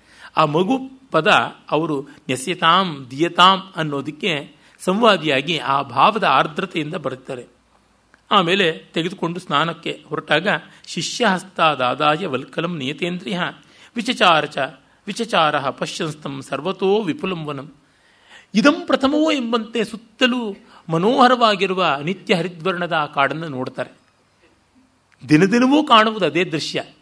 ಆದರೂ ಇದು ಹೊಸತೆಂಬಂತೆ ಕಾಣುವುದು ಕವಿಯ ಮನೋಧರ್ಮ. ಆ ವರ್ತಮಾನ ಕಾಲದ ಅನುಭವದ ನಿರೀಕ್ಷಣದ ಸ್ವಾರಸ್ಯ ತುಂಬ ದೊಡ್ಡದು. ಆಗ ತಸ್ಯ ಅಭ್ಯಾಸೇತು ಮಿಥುನಂ ಚರಂತಂ ಅನಪಾಯಿನಂ ಜೋಡಿ ಹಕ್ಕಿಗಳನ್ನು ನೋಡಿದ್ರು. ದದರ್ಶ ಭಗವಾನ್ಸ್ತತ್ರ ಕ್ರೌಂಚಯೋಶ್ಚಾರು ನಿಸ್ವನಂ. ಆ ಪಕ್ಷಿಗಳ ಕಲಕಲ ರವ ತುಂಬ ಇಂಪಾಗಿ ಕೇಳಿಸ್ತಂತೆ. ನಾನು ಕ್ರೌಂಚ ಪಕ್ಷಿಗಳನ್ನು ನೋಡಿದ್ದೀನಿ. ಎಷ್ಟೋ ಜನ ನೋಡಿರ್ಬೋದು ಗುರುತಿಡಿಯದೆ ಹೋಗಿರಬಹುದಷ್ಟೇ. ಕೊಕ್ಕರೆ ಜಾತಿಯ ಜಲಪಕ್ಷಿಗಳು. ಹಾಗೆ ಅವುಗಳ ಶಬ್ದ ಏನು? ಕೋಗಿಲೆ ಶಬ್ದದಂತೆ ಕುಹು, ಮಧುರತೆ ಏನೂ ಇರೋಲ್ಲ. ನಮ್ಮ ಉತ್ತರ ಕನ್ನಡದ ಗೋಪಿ ಹಕ್ಕಿಯಂತೆ ಮೂರ್ನಾಲ್ಕು ಸ್ವರಗಳನ್ನೇ ಅನರಣಿಸೋಲ್ಲ ಆದರೆ ಏನಿ ನ್ಯಾಚುರಲ್ ಸೌಂಡ್ ಈಸ್ ಮೆಲೋಡಿಯಸ್ ಇದನ್ನು ನೋಡಿ. ಅದೇ ನಾವು ಸೃಷ್ಟಿ ಮಾಡಿರುವ ಯಂತ್ರಗಳ ಶಬ್ದದಲ್ಲಿ ಮಾಧುರ್ಯ ಇಲ್ಲ. ಆದರೆ ಪ್ರಕೃತಿಯಲ್ಲಿ ನೋಡಿ ನೀರು ಬೀಳುವ ಶಬ್ದವಾಗಲಿ, ಮಳೆ ಬೀಳುವ ಶಬ್ದವಾಗಲಿ, ಗಾಳಿ ಬೀಸುವ ಶಬ್ದವಾಗಲಿ ಮರಗಳು ಅಲ್ಲಾಡಿದಾಗ ಬರುವ ಶಬ್ದ, ಇದರೊಳಗೆಲ್ಲ ಒಂದು ಸಹಜತೆಯೇ ಸೌಂದರ್ಯವನ್ನು, ಸ್ವಾರಸ್ಯವನ್ನು ತಂದುಕೊಡ್ತದೆ. ಆ ಥರದ್ದಷ್ಟೆ. ಆಗ ತಸ್ಮಾತ್ತು ಮಿಥುನಾದೇಕಂ ಪುಮಾಂಸಂ ಪಾಪನಿಶ್ಚಯ ಜಘಾನ ವೈರನೆಲೆಯೋ ನಿಷಾದಸ್ತತ್ ಅಪಶ್ಯತ. ನೋಡ್ ನೋಡ್ತಾ ಇದ್ದಂತೆ ಗಂಡು ಹಕ್ಕಿಗೆ ಬಾಣ, ಗುರಿ ಇಟ್ಟು ಒಬ್ಬ ಬೇಡ ಹೊಡೆದ. ವಾಲ್ಮೀಕಿ ಹಿಂದೆ ಬೇಡನೇ ಆಗಿದ್ದಿದ್ದು. ಆದರೆ ಇಲ್ಲಿಗೊಬ್ಬ ಬೇಡ ಮಾಡುವ ಕೆಲಸದಿಂದ ಯಾಕೆ ಕೋಪ ಬಂದದ್ದು ಅಂದರೆ ಪ್ರಾಣಿಗಳಿಗಿರುವ ಆ ರತಿಕಾಲ ಒಂದಿದೆ ಮೇಟಿಂಗ್ ಸೀಸನ್ ಅಂತ ಅವುಗಳಿಗಿದೆ ಮನುಷ್ಯರಿಗಿಲ್ಲ, ಪ್ರಾಣಿಗಳಿಗಿದೆ, ಕೋತಿಗಳಿಗಿಲ್ಲ apes and other higher animals higher ಅನ್ಬೇಕೆ lower ಅನ್ಬೇಕೆ ಗೊತ್ತಿಲ್ಲ. ವಿಕಾಸದ ಇನ್ನೊಂದು ಕೊಂಡಿಯಲ್ಲಿ ಅಂತ ಹೇಳೋಣ ಅಷ್ಟೇ. ಅದರಿಂದ ಹಿಂದಿನ ಪ್ರಾಣಿಗಳಲ್ಲಿ ಒಂದು ಕಾಲ ಅಂತ ಇದೆ. ಹಾಗಾಗಿ ಕೆಲವು ತಿಂಗಳಲ್ಲಿ, ವರ್ಷದಲ್ಲಿ ಅದು ಋತುಕಾಲ ಬಂದಿದೆ ಇಂಥ ಪ್ರಾಣಿಗಳಿಗೆ ಅಂತ ಗೊತ್ತಾಗದಾಗ ಬೇಟೆ ಆಡಬಾರದು ಅಂತ ಧರ್ಮಶಾಸ್ತ್ರದ ನಿಯಮ ಉಂಟು. ಪಾಂಡು ಹಾಗೆ ಮಾಡದ ಅಂತಲೇ ಅವನಿಗೆ ಶಾಪ ಬಂದದ್ದು. ಹೀಗೆ ಈ ದೃಷ್ಟಿಯಿಂದ ಕಂಡಾಗ ಅವುಗಳ ಸೌಖ್ಯಕ್ಕೆ ನಾವು ಧಕ್ಕೆ ಬರಬಾರ್ದು. ಕೊಲ್ಲುವುದೇ ಉಂಟು. ಆದರೂ ಒಂದು ಕ್ಷಣವಾದರೂ ಅವು ಸಂತೋಷದಲ್ಲಿರಲಿ, ಅವುಗಳನ್ನು ಸಾಯಿಸಬಾರದು ಅಂತ. ಅನಿವಾರ್ಯವೇ ಆಗಿದ್ದಾಗಲೂ ಜೀವೋ ಜೀವಸ್ಯ ಜೀವನಂ, ಅದಕ್ಕೊಂದು ಡಿಗ್ನಿಟಿ ಒಂದು ಮರ್ಯಾದೆ ಕೊಡೋಣ ಅಂತನ್ನುವ ದೃಷ್ಟಿ. ಇದನ್ನು ಬೇಡ ಗಮನಿಸಲಿಲ್ಲ. ಇದು ಬೇಡರಿಗೆ ಎಲ್ಲ ಬಾಲಪಾಠದಲ್ಲಿ ಬಂದಿರಬೇಕು. ಅದು ಗಮನಿಸಿಕೊಳ್ಳಲಿಲ್ಲ, ಈಸ್ ಎ ಕಟ್ ಥ್ರೋಟ್ ಇದು ಬಂತ ಸಮಸ್ಯೆ. ಅದನ್ನು ಕಂಡ ತಕ್ಷಣವೇ ತಮ್ಮ ಶೋಣಿತ ಪರೀತಾಂಗಂ ವೇಷ್ಟಮಾನಂ ಮಹೀತಲೆ ಉರುಳಿ ಬಿದ್ದು ಅಳ್ತಾ ಇತ್ತು. ಬಿದ್ದು ತತ್ತರಿಸಿ ಹೋಗ್ತಾ ಇತ್ತು. ಭಾರ್ಯಾತು ನಿಹತಂ ದೃಷ್ಟ ರುರಾವ ಕರುಣಾಂ ಗಿರಂ. ಈ ಪಂಕ್ತಿಯೇ ತುಂಬ ಹೃದಯ ಭೇದಕವಾಗಿದೆ. ರುರಾವ ಕರುಣಾಂ ಗಿರಂ. ನೋಡಿ, ನಾಲ್ಕು ರೇಫಗಳನ್ನು ಹಾಕಿದ ರುರಾವ ಕರುಣಾಂ ಗಿರಂ. ಪುರುಷಾಕ್ಷರಗಳೇ ಉಂಟು. ವಕಾರವಾಗಲಿ ಕ ಆಗಲಿ ಎಲ್ಲ ಪುರುಷಾಕ್ಷರಗಳು ಗಕಾರ ಮುಂದೆ ಇಲ್ಲಿ ಮೃದು ವ್ಯಂಜನ. ಆ ವೇದನೆಯ ಸಂಕಟದ ಅಸಹ್ಯ ವೇದನೆಯ ಚಿತ್ಕಾರ ಅದನ್ನು ಕೇಳಿದ್ದು. ಆನಂದವರ್ಧನ, ರಾಜಶೇಖರ ಎಲ್ಲ ಹೆಣ್ಣು ಹಕ್ಕಿಯನ್ನು ಕೊಂದಿದ್ದು ಅಂತ ಬರೀತಾರೆ. ಅಂದರೆ ವಾಲ್ಮೀಕಿ ರಾಮಾಯಣದಲ್ಲಿ ಗಂಡು ಹಕ್ಕಿ ಅಂತಲೇ ಇದೆ. ಮತ್ತೆ ಅದಕ್ಕೆ ಕೆಂಪು ಬಣ್ಣದ ತಲೆ ಇತ್ತು. ಒಂದು ಜಾತಿಯ ಜಲಪಕ್ಷಿಗಳು ಅಂತ ಹೇಳಿದ್ರಲ್ಲ ಅವುಗಳಿಗೆ ಕೆಂಪು ಬಣ್ಣದ ರೆಕ್ಕೆ ತುದಿ ತಲೆ ಇರುತ್ತದೆ. ತಾಮ್ರಶೀರ್ಷೇಣ ಮತ್ತೇನ ಪತ್ರಿಣಾಚ ಹಿತೇನ ವೈ ವಿಯುಕ್ತ ಪತಿನಾಥೇನ ದ್ವಿಜೇನ ಸಹಚಾರಿಣ ಗೋಳಾಡ್ತಾ ಇತ್ತು. ಅದನ್ನು ನೋಡ್ತಾ ಇದ್ದಂತೆ ಋಷೇರ್ ಧರ್ಮಾತ್ಮನಸ್ತಸ್ಯ ಕಾರುಣ್ಯಂ ಸಮಪದ್ಯತ, ಕರುಣೆ ಕನಲಿತು. ಆಗಲೇ ಬಂದದ್ದು ತತಃ ಕರುಣವೇದಿತ್ವಾತ್, ಅಧರ್ಮೋಯಮಿತಿ ದ್ವಿಜ, ನಿಶಮ್ಯ ರುದತೀಂ ಕ್ರೌಂಚಿಂ ಇದಂ ವಚನಮಬ್ರವೀತ್. ಅದೇ ಪ್ರಸಿದ್ಧವಾದ ಶ್ಲೋಕ, ಮಾನಿಷಾದ ಪ್ರತಿಷ್ಠಾಂತು ಮಗಮ ಶಾಶ್ವತಿ ಸಮಾಹ ಯತ್ಕ್ರೌಂಚ ಮಿಥುನಾದೇಕಂ ಅವಧಿ ಕಾಮಮೋಹಿತಂ ಅಂತ. ಇದನ್ನು ಡಿವಿಜಿಯವರು ಸೇರಿದಂತೆ ಅನೇಕರು ಕೃತಕ ರಚನೆ ಅಂತಾರೆ. ಸ್ವಲ್ಪ ಪ್ರಯತ್ನಪೂರ್ವಕವಾಗಿ ಮಾಡಿದ್ದು ಅಂತ. ಆದರೆ ನಮಗೆಲ್ಲರಿಗೂ ಒಂದು ಕಂಡೀಷನಿಂಗ್ ಆಗಿಬಿಟ್ಟು ಇದು ಆದಿಕಾವ್ಯದ ಮೊದಲನೇ ಶ್ಲೋಕ, ಮೊತ್ತ ಮೊದಲು ಜಗತ್ತಿಗೆ ಬಂದಂಥದ್ದು ಅಂತ. ಬಹುಭೂತಿ ಅದನ್ನು ಬಹಳ ಸೊಗಸಾಗಿ ಹೇಳ್ತಾನೆ. ಆಕಸ್ಮಿಕ ಪ್ರತ್ಯವಭಾಸಾಂ ಚ ದೇವೀಂ ವಾಚಂ ಅವ್ಯವಕೀರ್ಣಾಂ ಆನುಷ್ಟುಭೇನ ಛಂದಸಾ ಪರಿಣತಾಂ ಅಭ್ಯುದಯರಯತ್ ನೂತನ ಛಂದಸಾಂ ಅವತಾರ ತಂ ಭಗವಂತಂ ಆವಿರ್ಭೂತ ಶಬ್ದಬ್ರಹ್ಮ ಪ್ರಕಾಶಂ. ಋಷಿಂ ಉಪಸಂಗಮ್ಯ ಭಗವಾನ್ ಭೂತಭಾವನ ಪದ್ಮಯೋ ನಿರವೋಚತ್. ಋಷೇ ಪ್ರಬುದ್ಧೋಸಿ ವಾಗಾತ್ಮನಿ ಬ್ರಹ್ಮಣಿ ತದ್ಬ್ರೂಹಿ ರಾಮಚರಿತಂ. ಅವ್ಯಾಹತ ಜ್ಯೋತಿರಾರ್ಷಂ ತೇ ಪ್ರತಿಭಾಚಕ್ಷು. ಅದ್ಯ ಆದ್ಯ ಕವಿರಸಿ. ಪ್ರಥಮಂ ಮನುಷ್ಯೇಶು ಶಬ್ದಬ್ರಹ್ಮಣ ತಾದೃಶಂ ವಿವರ್ತಂ ಇತಿಹಾಸಂ ರಾಮಾಯಣಂ ಪ್ರಣಿನಾಯ. ಅಂತ ಹೀಗೆಲ್ಲ ಶಬ್ದಬ್ರಹ್ಮ ವಿವರ್ತ ಶಬ್ದಬ್ರಹ್ಮದ ಜಗದವತರಣ ಅಂತೆಲ್ಲ ಇದನ್ನು ಕೊಂಡಾಡಿದ್ದಾರೆ. ನಮ್ಮ ಭೋಜರಾಜ ಕೂಡ ಹಾಗಾಗಿ ಕಾಚಿದೇವಂ ನಿಸಸಾರ ಸರಸ್ವತಿ ಅಂತಾನೆ. ಸಾರವತಿ, ಸರಸ್ವತಿ, ಕಾಚಿದೇವಂ ನಿಸಸಾರ. ಸಾರವತಿ ಹೀಗೆ ಬಂತು ಅಂತ. ಹೀಗಾಗಿ ಈ ಶ್ಲೋಕಕ್ಕೆ ಒಂದು ಭಾವನಾತ್ಮಕವಾದ ಬೆಲೆ ನನ್ನ ಮನಸ್ಸಿಗಂತೂ ಇದೆ. ಇದಕ್ಕೆ ಇಲ್ಲದೆ ಸಲ್ಲದ ಅರ್ಥಗಳನ್ನು ಮಾಡುವುದನ್ನು ನನಗೆ ಒಪ್ಪಿಗೆ ಆಗ್ತಾ ಇಲ್ಲವಾದರೂ ಇದೊಂದು ಕ್ರೌಂಚ ಪಕ್ಷಿಗಳ ಸಂಕಟವೊಂದನ್ನು ಕಂಡು ಒಂದು ಹೆಣ್ಣು ಪಕ್ಷಿಯ ಸಂಕಟಕ್ಕೆ ಸ್ಪಂದಿಸಿ ಒಬ್ಬ ಋಷಿ ಕಾವ್ಯರೂಪದಲ್ಲಿ ಉದ್ಗಾರ ಮಾಡಿದನಲ್ಲ, ಅದು ದೊಡ್ಡದು ಅಂತ. ಈ ಮೂಲಕವಾಗಿ ವಾಲ್ಮೀಕಿಯ ಕವಿಹೃದಯ ಏನು ಅಂತ ಗೊತ್ತಾಗುತ್ತದೆ. ಒಂದು ಪಕ್ಷಿಯ ಸಂಕಟಕ್ಕೆ ಈ ರೀತಿ ಸ್ಪಂದಿಸಿ ಶ್ಲೋಕ ಹೇಳಿದವನು, ಇಷ್ಟು ಕರುಣಾಶಾಲಿ, ಆರ್ಜವ ಉಳ್ಳವನು, ಜಗತ್ತಿನ ಯಾವ ದುಃಖವನ್ನು ಪರಿಭಾವಿಸಬಲ್ಲ ಅಂತ. ಕಟ್ಟಕಡೆಗೆ ಕವಿಯ ಲಕ್ಷಣ ಏನು ಅಂದರೆ, ಆತ್ಮವಿಸ್ತರಣ ಮಾಡಿಕೊಂಡು, ಭಾವವಿಸ್ತರಣ ಮಾಡಿಕೊಂಡು, not if not in reality at least at the emotional level ವಾಸ್ತವದಲ್ಲದೆ ಇದ್ದರೂ ಭಾವದಲ್ಲಿ ತನ್ನೊಳಗೆ ಎಲ್ಲರನ್ನೂ ಸಹಾನುಭೂತಿಯಿಂದ ಕಾಣಬಲ್ಲ. ಸಹಾನುಭೂತಿಯಿಂದ ವ್ಯವಹರಿಸೋಕ್ಕೆ ಆಗದೇ ಇದ್ರೂ ಸಹಾನುಭೂತಿಯಿಂದ ಪರಿಭಾವಿಸಬಲ್ಲ ಅಂತ. ಈ ಸಹಾನುಭೂತಿ ಬೇಕು. ಪ್ರತಿಯೊಬ್ಬರ ಬಗ್ಗೆನೂ ಬೇಕು. ಆಗಲೇ ಯಾವ ಪಾತ್ರಕ್ಕೂ ಅನ್ಯಾಯ ಮಾಡೋಕ್ಕಾಗಲ್ಲ. ಯಾವ ಪಾತ್ರಕ್ಕೂ ಇರುವ ಗುಣದೋಷಗಳನ್ನು ಅದರಂತೆಯೇ ಚಿತ್ರಿಸುವುದಾಗುತ್ತದೆ. ಈ ಮಟ್ಟಿಗೆ ಕಂಡಾಗ ವಾಲ್ಮೀಕಿ ರಾಮಾಯಣವಾಗಲಿ, ವ್ಯಾಸಭಾರತವಾಗಲಿ ತುಂಬ ದೊಡ್ಡ ರಚನೆಗಳು ಅಂತ ಗೊತ್ತಾಗುತ್ತದೆ. ಹಾಗಾಗಿ ಈ ಕ್ರೌಂಚ ವಿಯೋಗದಲ್ಲಿ ಬಂದ ಕರುಣೆ ಕನಲಿದ ಮಾತಿಗೆ ಹೆಚ್ಚಿನ ಬೆಲೆ ಇದೆ ಅಂತ ಅರ್ಥ. ಮತ್ತೆ ಶಾಪ ಅಂತೆಲ್ಲ ಕೊಟ್ಟದ್ದು ಬೈಗಳು, ಸಂಕಟ, ನಿನಗೆಂದೂ ಒಳ್ಳೆಯದಾಗದೇ ಇರಲಿ ಅಂತ. ಇದರ ರಚನೆಯಲ್ಲಿ ಸ್ವಲ್ಪ ಚಮತ್ಕಾರ ಇದೆ. ಮಾ ನಿಷಾದ ಪ್ರತಿಷ್ಠಾಂತ್ವಂ ಅಗಮಃ. ಹೇ ನಿಷಾದ ಪ್ರತಿಷ್ಠಾಂತ್ವಂ ಮಾ ಅಗಮಃ. ನೀನು ಎಂದೂ ಏಳಿಗೆಯನ್ನು ಹೊಂದಬೇಡ. ಏಳಿಗೆ ಹೊಂದದರೈ ಬೇಡ. ಎಂದೆಂದಿಂ ಕೊಂದೆಯಲ್ತೆ ನೀಂ ಈ ಪಕ್ಷಿಗಳನ್ನು ಕೊಂದೆಯಲ್ಲ ಅದರೊಳಗೆ ಒಂದನ್ನು ಎತ್ ಕ್ರೌಂಚ ಮಿಥುನ ಅದು ಏಕಮವಧಿ ಕೆಲವರು ವ್ಯಾಖ್ಯಾನ ಮಾಡುವಾಗ ಎತ್ತಿರ ಆಡೋದುಂಟು ಏಕಮವಧಿ ಯುಗಪದವಧಿ ಆಗಿದ್ರೆ ಅಲ್ವೋ? ಒಂದನ್ನು ಕೊಂದಿಯಲ್ಲ. ಎರಡನ್ನೂ ಕೊಂದಿದ್ರೆ ಈ ಶಾಪ ಬರ್ತಿರ್ಲಿಲ್ವೋ? ಈ ಕೋಪ ಬರ್ತಿರ್ಲಿಲ್ವೋ ಅಂತಂದರೆ, ಹಾಗಲ್ಲ. ಕೊಲ್ಲುವುದೇ ನಿನ್ನ ಹೊಟ್ಟೆಪಾಡು ಗೊತ್ತಿದೆಯಪ್ಪ. ಈ ಹೊತ್ತಿನಲ್ಲಿ ಕೊಂದಿಯಲ್ಲ. ಅದಕ್ಕೆ ಬಂದದ್ದು ಅಂತ. ಕಾಮಮೋಹಿತಂ ಅಂತ. ಇದಕ್ಕೆ ವ್ಯಾಖ್ಯಾನಕಾರರು ತುಂಬ ರಗಳೆ ಮಾಡಿದ್ದಾನೆ. ಆ ರಗಳೆಗಳನ್ನು ನಾನು ನಾಳೆ ಹೇಳ್ತೀನಿ. ಗೋವಿಂದರಾಜ ಪರಮಾಚಾರ್ಯ ಇದರೊಳಗೆ, ಆಮೇಲೆ ಮಾಹೇಶ್ವರಿಯ, ಅದು ಉಂಟು. ಇದನ್ನು ಮಂಗಳಾಶಾಸನ ಅಂತಲೇ ಮಾಡ್ತಾರೆ. ಮಾನಿಷಾದ ಅಂದರೆ ಮಾ ಲಕ್ಷ್ಮೀ ಯಸ್ಮಿನ್ ನಿಷೀದತೀತಿ ಮಾನಿಷಾದ. ಅಂದರೆ ಲಕ್ಷ್ಮಿ ಯಾರ ಎದೆಯಲ್ಲಿ ವಾಸಸ್ಥಾನ ಮಾಡಿಕೊಂಡಿದ್ದಾಳೋ ಅಂಥವನು ಮಾನಿಷಾದ. ಅಂದರೆ ನಾರಾಯಣ. ತ್ವಂ ಶಾಶ್ವತೀ ಸಮಾಹ ಪ್ರತಿಷ್ಠಾಂ ಅಗಮಃ. ನೀನು ಬಹುಕಾಲ ಪ್ರತಿಷ್ಠೆಯನ್ನು ಹೊಂದು, ಪಲ್ಲಾಂಡ ಪಲ್ಲಾಂಡು ಅನ್ನುವಂತೆ ಬಹಳ ಕಾಲ ಹಲವು ಕೋಟಿ ಕಾಲ ಚೆನ್ನಾಗಿ ಇರು ಅಂತ ಮಂಗಲಾಶಾಸನ. ಶ್ರೀ ವಿಷ್ಣು ಪರಂಪರೆಯಲ್ಲಿ ಭಗವಂತನಿಗೆ ಆಶೀರ್ವಾದ ಮಾಡುವುದುಂಟಲ್ಲ? ಆ ರೀತಿಯಾದ ಮಂಗಲಾಶಾಸನ. ಯಾಕೆಂದರೆ, ಯತ್ ಕ್ರೌಂಚ ಮಿಥುನಾತ್ ಕೃಂಚತಿ ಖೇದಯತಿ ತಾಪಯತಿ ಸಂಕಟ ಪಡಿಸ್ತಕ್ಕಂಥ ಕ್ರೌಂಚ ಮಿಥುನದಲ್ಲಿ, ಅಂದರೆ ರಾವಣ ಮಂಡೋದರಿಯಲ್ಲಿ ಒಬ್ಬನನ್ನು ಕಾಮಮೋಹಿತಮ್ಮಾದ ರಾವಣನನ್ನು ಕೊಂದಿಯಲ್ಲ ಅದಕ್ಕೆ ಅಂತ.